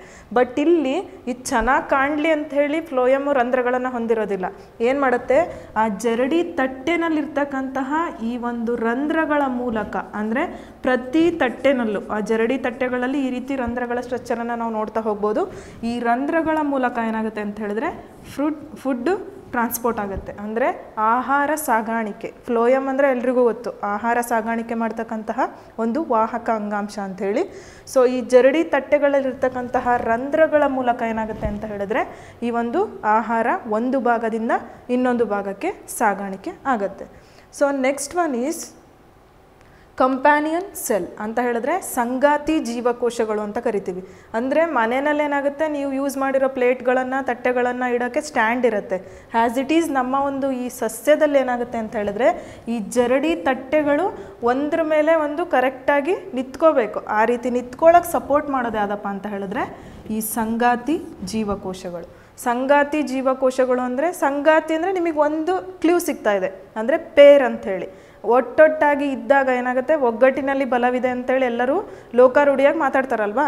ಹ್ಯಾಸ್ ಇಟ್ ಈಸ್ ನಮ್ಮ ಈ ಜರಡಿ ತಟ್ಟೆಗಳನ್ನು ಹಿಡ್ಕೊಳ್ಳೋಕ್ಕೆ ಅಂದರೆ ಸಪೋರ್ಟಿವ್ ಆಗಿ ಸಪೋರ್ಟಿವ್ ಸ್ಟ್ಯಾಂಡ್ ಯಾವುದು ಅಂತ ಹೇಳಿದ್ರೆ, ಈ ನಮ್ಮ ಸಂಗಾತಿ ಜೀವಕೋಶಗಳು. ಸಂಗಾತಿ ಜೀವಕೋಶ ಅಂತ ಹೇಳಿ ಕರಿತೀವಿ.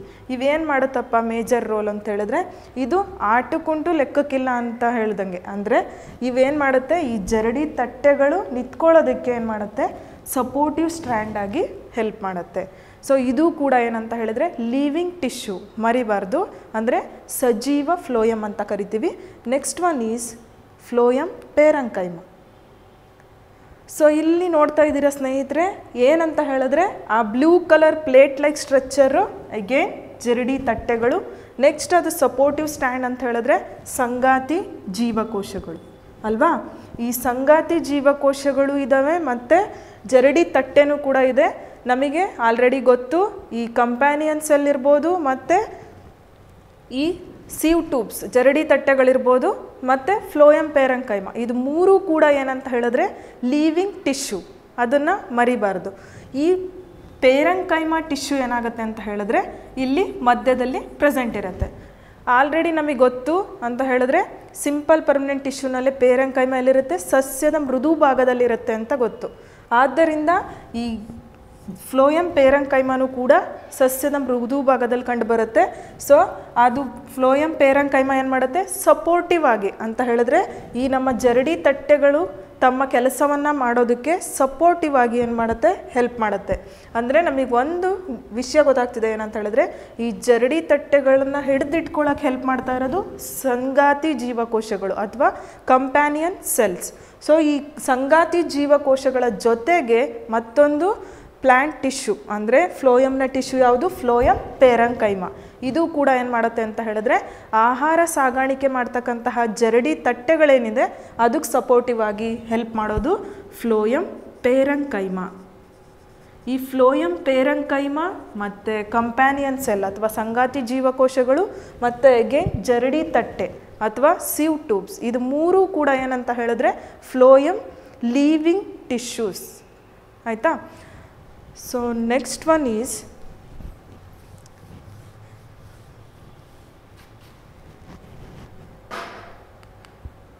phloem fibres ಈ ಫ್ಲೋಯಮ್ ಫೈಬ್ರಸ್ ನಮಗೆ ಆಲ್ರೆಡಿ ಗೊತ್ತು ಅಂತ ಹೇಳಿದ್ರೆ ಕಂಪ್ಯಾನಿಯನ್ ಸೆಲ್ ಗೊತ್ತು, ಅಂದರೆ ಸಂಗಾತಿ ಜೀವಕೋಶಗಳು, ಜರಡಿ ತಟ್ಟೆಗಳು ಮತ್ತು ಫ್ಲೋಯಮ್ ಪೇರಂಕೈಮ ಇದು ಮೂರು ಕೂಡ ಏನಂತ ಹೇಳಿದ್ರೆ ಸಜೀವ ಫ್ಲೋಯಮ್ನ ಕೋಶ ಅಥವಾ ಸಜೀವ ಫ್ಲೋಯಮ್ ಅಂಗಾಂಶಗಳು ಅಂತ ಕರಿತೀವಿ. The last one is phloem fibres ಅಂತ ಹೇಳಿದ್ರೆ ಈ ಫ್ಲೋಯಮ್ ಫೈಬ್ರಸ್ ಅಂತ ಹೇಳಿದ್ರೆ ನಾರು. ಅಂತ ಹೇಳಿದ್ರೆ ಇದು ಏನಾಗಿ ಆ್ಯಕ್ಟ್ ಮಾಡುತ್ತೆ ಅಂತ ಹೇಳಿದ್ರೆ ಫ್ಲೋಯಮ್ನ ನಿರ್ಜೀವ ಕೋಶ ಅಂತ ಹೇಳಿ ಕರಿತೀವಿ. ಆ ಫ್ಲೋಯಮ್ನ ನಿರ್ಜೀವ ಕೋಶಗಳು ಅಂತ ಹೇಳಿದ್ರೆ ಇದು ಕೂಡ ಅಷ್ಟೇ. ನಿರ್ಜೀವ ಅಂತ ಹೇಳಿದ್ರೆ ಜೀವ ಇರ್ತಕ್ಕಂಥದ್ದು ಏನು ಮಾಡುತ್ತೆ? ಒಂದು ಕಡೆಯಿಂದ ಇನ್ನೊಂದು ಕಡೆಗೆ ಆಹಾರ ಸಾಗಾಣಿಕೆಗೆ ಹೆಲ್ಪ್ ಮಾಡ್ತು ಮತ್ತು ಫೈಬ್ರಸ್ ಯಾಕೆ ಇದು ಆಟಕುಂಟು ಲೆಕ್ಕಕ್ಕಿಲ್ವಾ? ಏನಂತ ಹೇಳಿದ್ರೆ ಆ ಒಂದು ಸಸ್ಯದ ಅಂಗಾಂಶಗಳಿಗೆ ಏನು ಮಾಡುತ್ತೆ ಅಂತ ಹೇಳಿದ್ರೆ ಆ ಒಂದು ಸಪೋರ್ಟ್ ಅಥವಾ ದೃಢತೆಯನ್ನು ಕೊಡುತ್ತೆ. ಈ ಫ್ಲೋಯಮ್ ಫೈ ಫೈಬ್ರಸ್ ಮೂಲ ಕಾರ್ಯ ಏನು ಅಂತ ಹೇಳಿದ್ರೆ ಅಥವಾ ಬೇಸಿಕ್ ಫಂಕ್ಷನ್ ಏನಪ್ಪ ಅಂತ ಹೇಳಿದ್ರೆ ಆ ಒಂದು ಸಸ್ಯ ಅಂಗಾಂಶಕ್ಕೆ ದೃಢತೆಯನ್ನು ಕೊಡೋದು.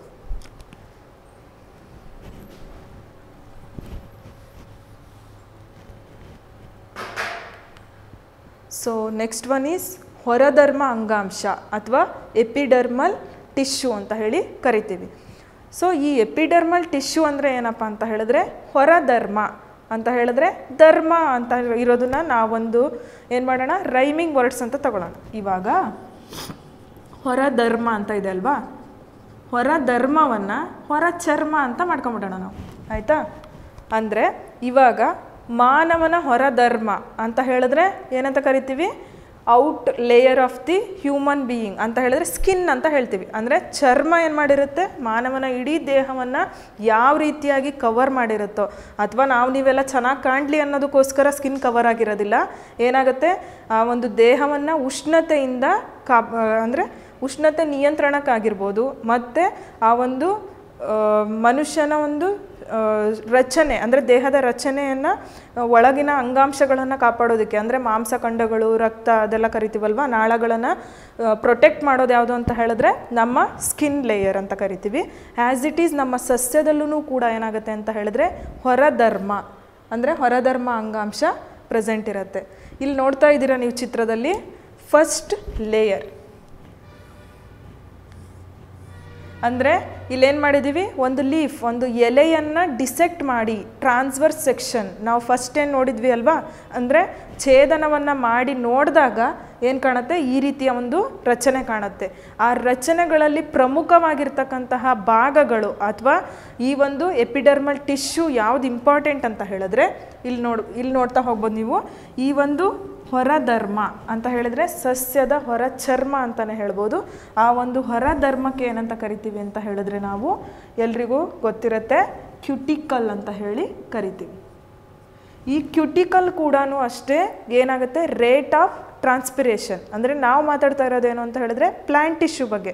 ಅಂದರೆ ರಿಲೇಟೆಡ್ ಟು ಪ್ಲ್ಯಾಂಟ್ಸ್ ಅಂದರೆ ಆ ಪ್ಲ್ಯಾಂಟಿನ ಹೊರ ಭಾಗವನ್ನು ಅಥವಾ ಹೊರ ಹೊದಿಕೆಯನ್ನು ಕಾಪಾಡೋದಕ್ಕೆ, ಅಂದರೆ ಒಳಗಡೆ ಇರ್ತಕ್ಕಂತಹ ನೀರಿನ ಅಂಶ ಏನಾಗಬಾರ್ದು ಎವಾಪರೇಷನ್ ಆಗಬಾರ್ದು. ಅಂದರೆ ಸಸ್ಯಗಳಲ್ಲಿ ಪ್ರಮುಖವಾಗಿ ನಡೀತಕ್ಕಂತಹ ಒಂದು ಕ್ರಿಯೆ, ಯಾವುದಪ್ಪ? ಟ್ರಾನ್ಸ್ಪಿರೇಷನ್ ಅಥವಾ ಬಾಷ್ಪ ವಿಸರ್ಜನೆ ಅಂತ ಹೇಳಿ ಕರಿತೀವಿ.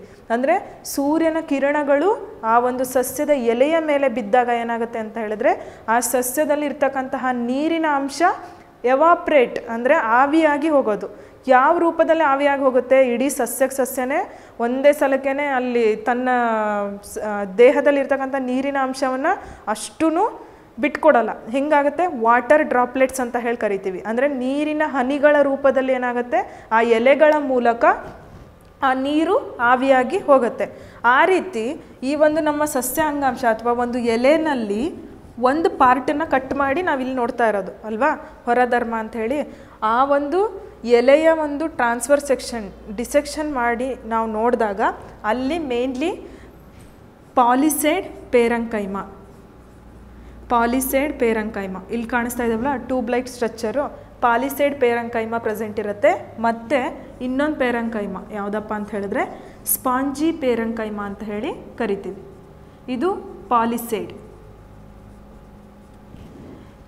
ನೆಕ್ಸ್ಟು ಹಾಗಾದರೆ ಈ ಒಂದು ಸಸ್ಯದ ಒಂದು ಡಿಸೆಕ್ಷನ್ ಮಾಡಿ ನೋಡಿದಾಗ, ಸಸ್ಯದ ಎಲೆಯನ್ನು ಟ್ರಾನ್ಸ್ವರ್ ಸೆಕ್ಷನ್ ಅಥವಾ ಛೇದನ ಮಾಡಿ ನೋಡಿದಾಗ ನಮಗೆ ಕ್ಯೂಟಿಕಲ್ ಇರುತ್ತೆ ಗೊತ್ತಾಯಿತು. ಅಂದರೆ ಸಸ್ಯದಲ್ಲಿರ್ತಕ್ಕಂತಹ ನೀರು ಆವಿಯಾಗಿ ಹೋಗಬಾರ್ದು. ಅಂದರೆ ಬಾಷ್ಪ ವಿಸರ್ಜನೆ ಟ್ರಾನ್ಸ್ಪಿರೇಷನ್ ರೇಟ್ ಜಾಸ್ತಿ ಆಗಬಾರ್ದು ಅಂಥೇಳಿ ಈ ಹೊರಧರ್ಮ ಕವರ್ ಆಗಿರುತ್ತೆ. ಹಾಗಾದರೆ ಈ ಪಾಲಿಸೈಡ್ ಮತ್ತು ಸ್ಪಾಂಜಿ ಪೇರಂಕೈಮ ಯಾಕೆ ಬೇಕು? ಯಾಕೆ ಬೇಕು ಅಂತ ಹೇಳಿದ್ರೆ ನಮಗೆಲ್ರಿಗೂ ಮೂಳೆ ಮತ್ತು ಮಾಂಸಖಂಡ ಯಾಕೆ ಬೇಕು ಅಂತ ಹೇಳಿದ್ರೆ, ದೇಹಕ್ಕೆ ಸ್ಟ್ರೆಂತ್ ಬೇಕಲ್ವಾ? ಅಲ್ಲೇನಾಗುತ್ತೆ? ಈ ಪಾಲಿಸೈಡ್ ಮತ್ತು ಸ್ಪಾಂಜಿ ಪೇರಂಕೈಮಗಳು ಸಸ್ಯದ ಮೃದು ಭಾಗದಲ್ಲಿರುತ್ತೆ ಅಂತ ನಮಗೆ ಗೊತ್ತು, ಪೇರಂಕೈಮ, ಅಲ್ವಾ? ಅದೇ ರೀತಿಯಾಗಿ ಈ ಪಾಲಿಸೈಡ್ ಮತ್ತು ಸ್ಪಾಂಜಿ ಪೇರಂಕೈಮಗಳು ನೀರಿನ ಅಂಶವನ್ನು ಏನು ಮಾಡುತ್ತೆ? ಬಿಗಿಯಾಗಿ ಹಿಡಿದಿಟ್ಟು ಹಿಡಿದಿಟ್ಕೊಳ್ಳುತ್ತೆ ಅಂದರೆ ಸ್ಮೂತ್ ಆಗಿರೋ ಭಾಗದಲ್ಲಿ ಏನಾಗುತ್ತೆ ಅಂತ ಹೇಳಿದ್ರೆ ಆ ನೀರಿನ ಸಂಗ್ರಹಣೆ ಜಾಸ್ತಿ ಆಗುತ್ತೆ. ಅದ್ರ ಜೊತೆಗೆ ಇನ್ನೊಂದು ಇಂಪಾರ್ಟೆಂಟ್ ಏನಪ್ಪ ಅಂತ ಹೇಳಿದ್ರೆ ಸ್ಟೊಮ್ಯಾಟ. ಈ ಸ್ಟೊಮ್ಯಾಟ ಅಂತ ಹೇಳಿದ್ರೆ ನಿಮಗೆಲ್ರಿಗೂ ಗೊತ್ತಿರ್ಬೋದು.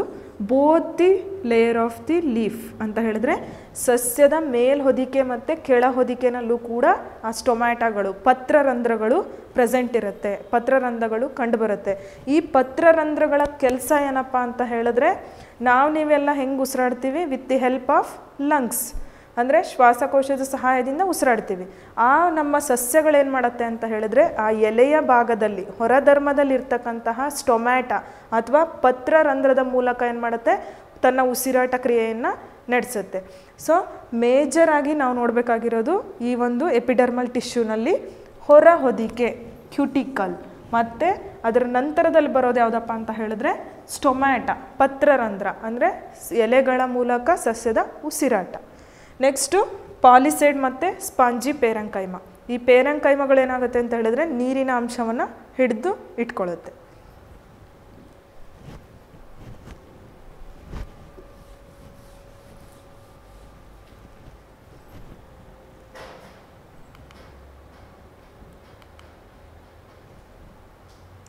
ನೆಕ್ಸ್ಟು ಈ ಎಪಿಡರ್ಮಲ್ ಟಿಶ್ಯೂನಲ್ಲಿ ನಾವೇನು ಮಾಡಿದ್ವಿ ಅಂತ ಹೇಳಿದ್ರೆ ಒಂದು ಎಲೆಯನ್ನು ಛೇದನ ಮಾಡಿ ನೋಡಿದಾಗ ಏನಾಯಿತು? ಕ್ಯೂಟಿಕಲ್ ಕಾಣಿಸ್ತು, ಮತ್ತು ಪತ್ರರಂಧ್ರ ಕಾಣಿಸ್ತು ಪಾಲಿಸೈಡ್ಸ್ ಪಾಂಜಿ ಪೇರಂಕೈಮನು ಕಾಣಿಸ್ತು. ಅಂದರೆ ರೇಟ್ ಆಫ್ ಟ್ರಾನ್ಸ್ಪಿರೇಷನ್ ಆಗಬಾರ್ದು ಅಂತ ಹೇಳಿ ಅದು ಹೊರಧರ್ಮ ಕವರ್ ಆಗಿರುತ್ತೆ ಅಂತ ಗೊತ್ತಾಯಿತು. ಅದೇ ರೀತಿನಲ್ಲಿ ಇವಾಗ ಬರೀ ಎಲೆ ಮತ್ತು ಕಾಂಡ. ಫಸ್ಟಲ್ಲಿ ಏನು ನೋಡಿದ್ವಿ? ಎಪಿಕಲ್ ಮೆರಿಸ್ಟಮ್ ಮೇಲಿರುತ್ತೆ ಕಾಂಡದ ತುದಿನಲ್ಲಿರುತ್ತೆ, ಗೊತ್ತಾಯಿತು. ಕಾಂಡ ಯೂಸ್ ಆಯಿತು, ಎಲೆ ಯೂಸ್ ಆಯಿತು. ನಮ್ಮ ಪಾಪ ಬೇರೆ ಏನು ಮಾಡಿತ್ತು? ಅದು ಬೇರೆ ಏನಾಗುತ್ತೆ ಅಂತ ಹೇಳಿದ್ರೆ, ಈ ರೀತಿ ಒಂದು ಪ್ಲ್ಯಾಂಟ್ ಸ್ಟ್ರಕ್ಚರನ್ನು ತಗೊಂಡಾಗ, ಸೊ ಇಲ್ಲೊಂದು ಫ್ಲವರ್, ನೆಕ್ಸ್ಟು ಎಲೆಗಳು, ಅಲ್ವಾ? ಅದಕ್ಕೆ ಬೇಸಿಕ್ ಸಪೋರ್ಟಿವ್ ಸ್ಟ್ರಕ್ಚರ್ ಯಾವುದಪ್ಪ ಅಂತ ಹೇಳಿದ್ರೆ, ರೂಟ್ ಅಥವಾ ಬೇರು. ಬೇರಿನ ಪ್ರಮುಖವಾದ ಕೆಲಸ ಏನು ಅಂತ ಹೇಳಿದ್ರೆ ನಮಗೆಲ್ಲರಿಗೂ ಗೊತ್ತು ಏನು ಮಾಡುತ್ತೆ? ನ್ಯೂಟ್ರಿಯೆಂಟ್ಸ್ ಅಂದರೆ ಮಣ್ಣಿನಲ್ಲಿರ್ತಕ್ಕಂತಹ ಪೋಷಕಾಂಶಗಳನ್ನು ಅದೇ ರೀತಿಯಾಗಿ ನೀರನ್ನು ಏನು ಮಾಡುತ್ತೆ? ಬೇರಿನ ಮೂಲಕ ಹೀರ್ಕೊಂಡು ಅದೇನು ಮಾಡುತ್ತೆ? ಸಸ್ಯದ ಎಲ್ಲ ಭಾಗಗಳಿಗೂ ನೀರನ್ನು ಜೈಲಂ ಮೂಲಕ ಕಳಿಸುತ್ತೆ. ಆಹಾರವನ್ನು ಅಂದರೆ ಎಲೆಗಳಲ್ಲಿ ತಯಾರಾಗಿರ್ತಕ್ಕಂಥ ಆಹಾರ ಏನು ಮಾಡುತ್ತೆ? ಫ್ಲೋಯ ಮೂಲಕ ಸರಬರಾಜಾಗುತ್ತೆ.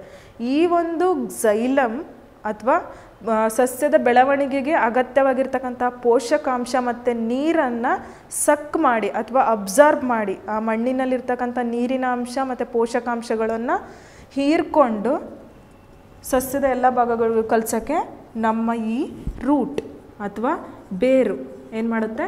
ಹೆಲ್ಪ್ ಮಾಡುತ್ತೆ.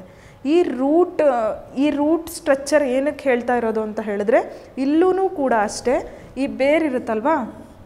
ಇದು ಕೂಡ ಏನಾಗುತ್ತೆ ಅಂತ ಹೇಳಿದ್ರೆ ಒಂದು ಎಪಿಡರ್ಮಲ್ ಲೇಯರಿಂದ ಕವರ್ ಆಗಿರುತ್ತೆ. ಅದಕ್ಕೆ ನಾವು ಹೊರಧರ್ಮ ಅಂತ ಹೇಳಿ ಕರೆಯಲ್ಲ ರೂಟ್ ಹೇರ್ಸ್ ಅಂತ ಹೇಳಿ ಕರಿತೀವಿ. ಅಂದರೆ ಬೇರಿನ ಕೂದಲಿನ ಆಕಾರದ ರಚನೆ.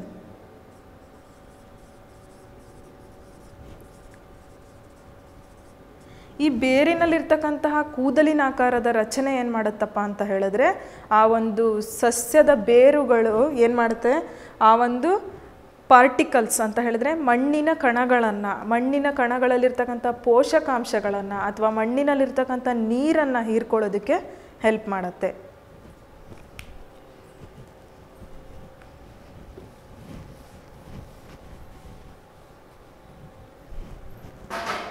ಸೊ ನೆಕ್ಸ್ಟ್ ಸೊ ಸ್ನೇಹಿತರೆ ಇಲ್ಲಿವರೆಗೂ ನಾವೇನು ಮಾಡಿದ್ವಿ ಅಂತ ಹೇಳಿದ್ರೆ, ಮೆರಿಸ್ಟಮ್ಯಾಟಿಕ್ ಟಿಶ್ಯೂ ಮತ್ತು ಪರ್ಮನೆಂಟ್ ಟಿಶ್ಯೂ ಬಗ್ಗೆ ನೋಡಿದ್ವಿ. ಮೆರಿಸ್ಟಮ್ಯಾಟಿಕ್ ಟಿಶ್ಯೂನಲ್ಲಿ ಮೇಜರಾಗಿ ಫೋರ್ ಟೈಪ್ಸ್ ಅಥವಾ ನಾಲ್ಕು ಪ್ರಮುಖ ಭಾಗಗಳನ್ನು ನಾವು ನೋಡ್ತಾ ಹೋಗ್ತೀವಿ. ಏನಪ್ಪ ಅಂತ ಹೇಳಿದ್ರೆ, ಎಪಿಕಲ್ ಮೆರಿಸ್ಟಮ್ಯಾಟಿಕ್ ಟಿಶ್ಯೂ. ಸಸ್ಯದ ತುದಿ ಭಾಗದಲ್ಲಿ ಪ್ರೆಸೆಂಟ್ ಇರತಕ್ಕಂತಹ ಒಂದು ಭಾಗ ಅಥವಾ ಸಸ್ಯ ಎತ್ತರವಾಗಿ ಬೆಳೆಯೋದಕ್ಕೆ ಹೆಲ್ಪ್ ಮಾಡ್ತಕ್ಕಂಥ ಎಪಿಕಲ್ ಮೆರಿಸ್ಟಮ್ಯಾಟಿಕ್ ಟಿಶ್ಯೂ ಮತ್ತು ಲ್ಯಾಟ್ರಲ್ ಮೆರಿಸ್ಟಮ್ಯಾಟಿಕ್ ಟಿಶ್ಯೂ ಅಂದರೆ ಸಸ್ಯದ ಗರ್ತ್ ಅಥವಾ ಸಸ್ಯದ ಸುತ್ತಳತೆಯನ್ನು ಹೆಚ್ಚು ಮಾಡೋದು ಯಾವುದು ಅಂದರೆ lateral meristem then internodal meristem ಅಂತ ಹೇಳಿದ್ರೆ ಆ ಸಸ್ಯದಲ್ಲಿರ್ತಕ್ಕಂಥ ಗಿಣ್ಣುಗಳು ಕಬ್ಬನ್ನು ನೆನ್ಪು ಮಾಡ್ಕೊಂಡ್ಬಿಟ್ರೆ ಇಂಟರ್ನೋಡಲ್ ವೆರಿ ಈಸಿ ಅಂದರೆ ಆ ಸಸ್ಯದಲ್ಲಿರ್ತಕ್ಕಂಥ ಗಿಣ್ಣುಗಳನ್ನು ಹೆಚ್ಚು ಮಾಡಿದಾಗ ಏನಾಗುತ್ತೆ? ಜಾಸ್ತಿ ಉತ್ಪನ್ನ ಸಿಗುತ್ತೆ. ಆ ಒಂದು ಜಾಸ್ತಿ ಪ್ರಾಡಕ್ಟ್ ಸಿಗೋಕ್ಕೆ ಹೆಲ್ಪ್ ಮಾಡೋದು internodal meristematic tissue then finally intercalary meristem ಅಂತ ಹೇಳಿ ಕರಿತೀವಿ. ಇಂಟರ್ ಕೆಲರಿ ಅಂತ ಹೇಳಿದ್ರೆ ಮರದಲ್ಲಿರ್ತಕ್ಕಂಥ ಕೆಚ್ಚುಗಳನ್ನು ಅಥವಾ ಗಿಡಗಳಲ್ಲಿರ್ತಕ್ಕಂಥ ಕೆಚ್ಚುಗಳನ್ನು ಹೆಚ್ಚು ಮಾಡೋದಕ್ಕೆ. ಅಂದರೆ ನೆನಪಾಗಿರ್ಬೋದು ನಿಮಗೆಲ್ರಿಗೂ ಸೋಫಾ ಸೆಟ್ ಅಂತ ಹೇಳಿದ್ರೆ ಅದನ್ನು ತಯಾರಿಸೋಕೆ ಕೆಚ್ಚುಗಳು, ಮರದ ಕೆಚ್ಚುಗಳು ಜಾಸ್ತಿ ಇರಬೇಕು ಅಂತ ಹೇಳ್ತಾರೆ. ಆ ಒಂದು ಕೆಚ್ಚುಗಳನ್ನು ಹೆಲ್ಪ್ ಮಾಡೋದು ಹೆಲ್ಪ್ ಮಾಡೋದು ಹೆಚ್ಚಾಗಕ್ಕೆ ಹೆಲ್ಪ್ ಮಾಡೋದು intercalary meristem then permanent tissue ಅಂತ ಹೇಳಿದ್ರೆ ಪರ್ಮನೆಂಟ್ ಟಿಶ್ಯೂನಲ್ಲಿ ಸರಳ ಶಾಶ್ವತ ಅಂಗಾಂಶ ಮತ್ತು ಸಂಕೀರ್ಣ ಶಾಶ್ವತ ಅಂಗಾಂಶ ಸರಳ ಶಾಶ್ವತ ಅಂಗಾಂಶ ಅಥವಾ ಸಿಂಪಲ್ ಮೆರಿಸ್ ಸಿಂಪಲ್ ಪರ್ಮನೆಂಟ್ ಟಿಶ್ಯೂನಲ್ಲಿ ಅಗೇನ್ ತ್ರೀ ಟೈಪ್ಸ್ ಬರುತ್ತೆ. ಪೇರಂಕೈಮ, ಕೋಲಂಕೈಮ ಮತ್ತು sclerenchyma then complex permanent tissue ಅಥವಾ ಸಂಕೀರ್ಣ ಶಾಶ್ವತ ಅಂಗಾಂಶ ಅಂತ ಏನು ಕರಿತೀವಿ? ಅದರಲ್ಲಿ mainly two types. First one is xylem ಅಂದರೆ ನೀರು ಸಾಗಾಣಿಕಾ ಅಂಗಾಂಶ. ಅದರಲ್ಲೂ ಗೊತ್ತು ನಿಮಗೆ ಏನಂತ ಹೇಳಿದ್ರೆ ಗ್ಸೈಲಮ್ ಪೇರಂಕೈಮ ಮಾತ್ರ living tissue next xylem tracheids xylem vessels ಮತ್ತು ಗ್ಸೈಲಮ್ ಫೈಬ್ರೇಸ್ ಇದು ಮೂರೂ ಕೂಡ ನಿರ್ಜೀವ ಶಾಶ್ವತ ಅಂಗಾಂಶ. ನೆಕ್ಸ್ಟು ಫ್ಲೋಯಮ್ ಫ್ಲೋಯಮ್ ಏನಂತ ಹೇಳಿದ್ರೆ ಆಹಾರ ಸಾಗಾಣಿಕೆಯನ್ನು ಮಾಡ್ತಕ್ಕಂತಹ ಒಂದು ವಾಹಕ ಅಂಗಾಂಶ. ಇದರಲ್ಲೂ ಅಗೇನ್ ನಾಲ್ಕು ಮೇಜರ್ ಟೈಪ್ಸ್ ಬರುತ್ತೆ.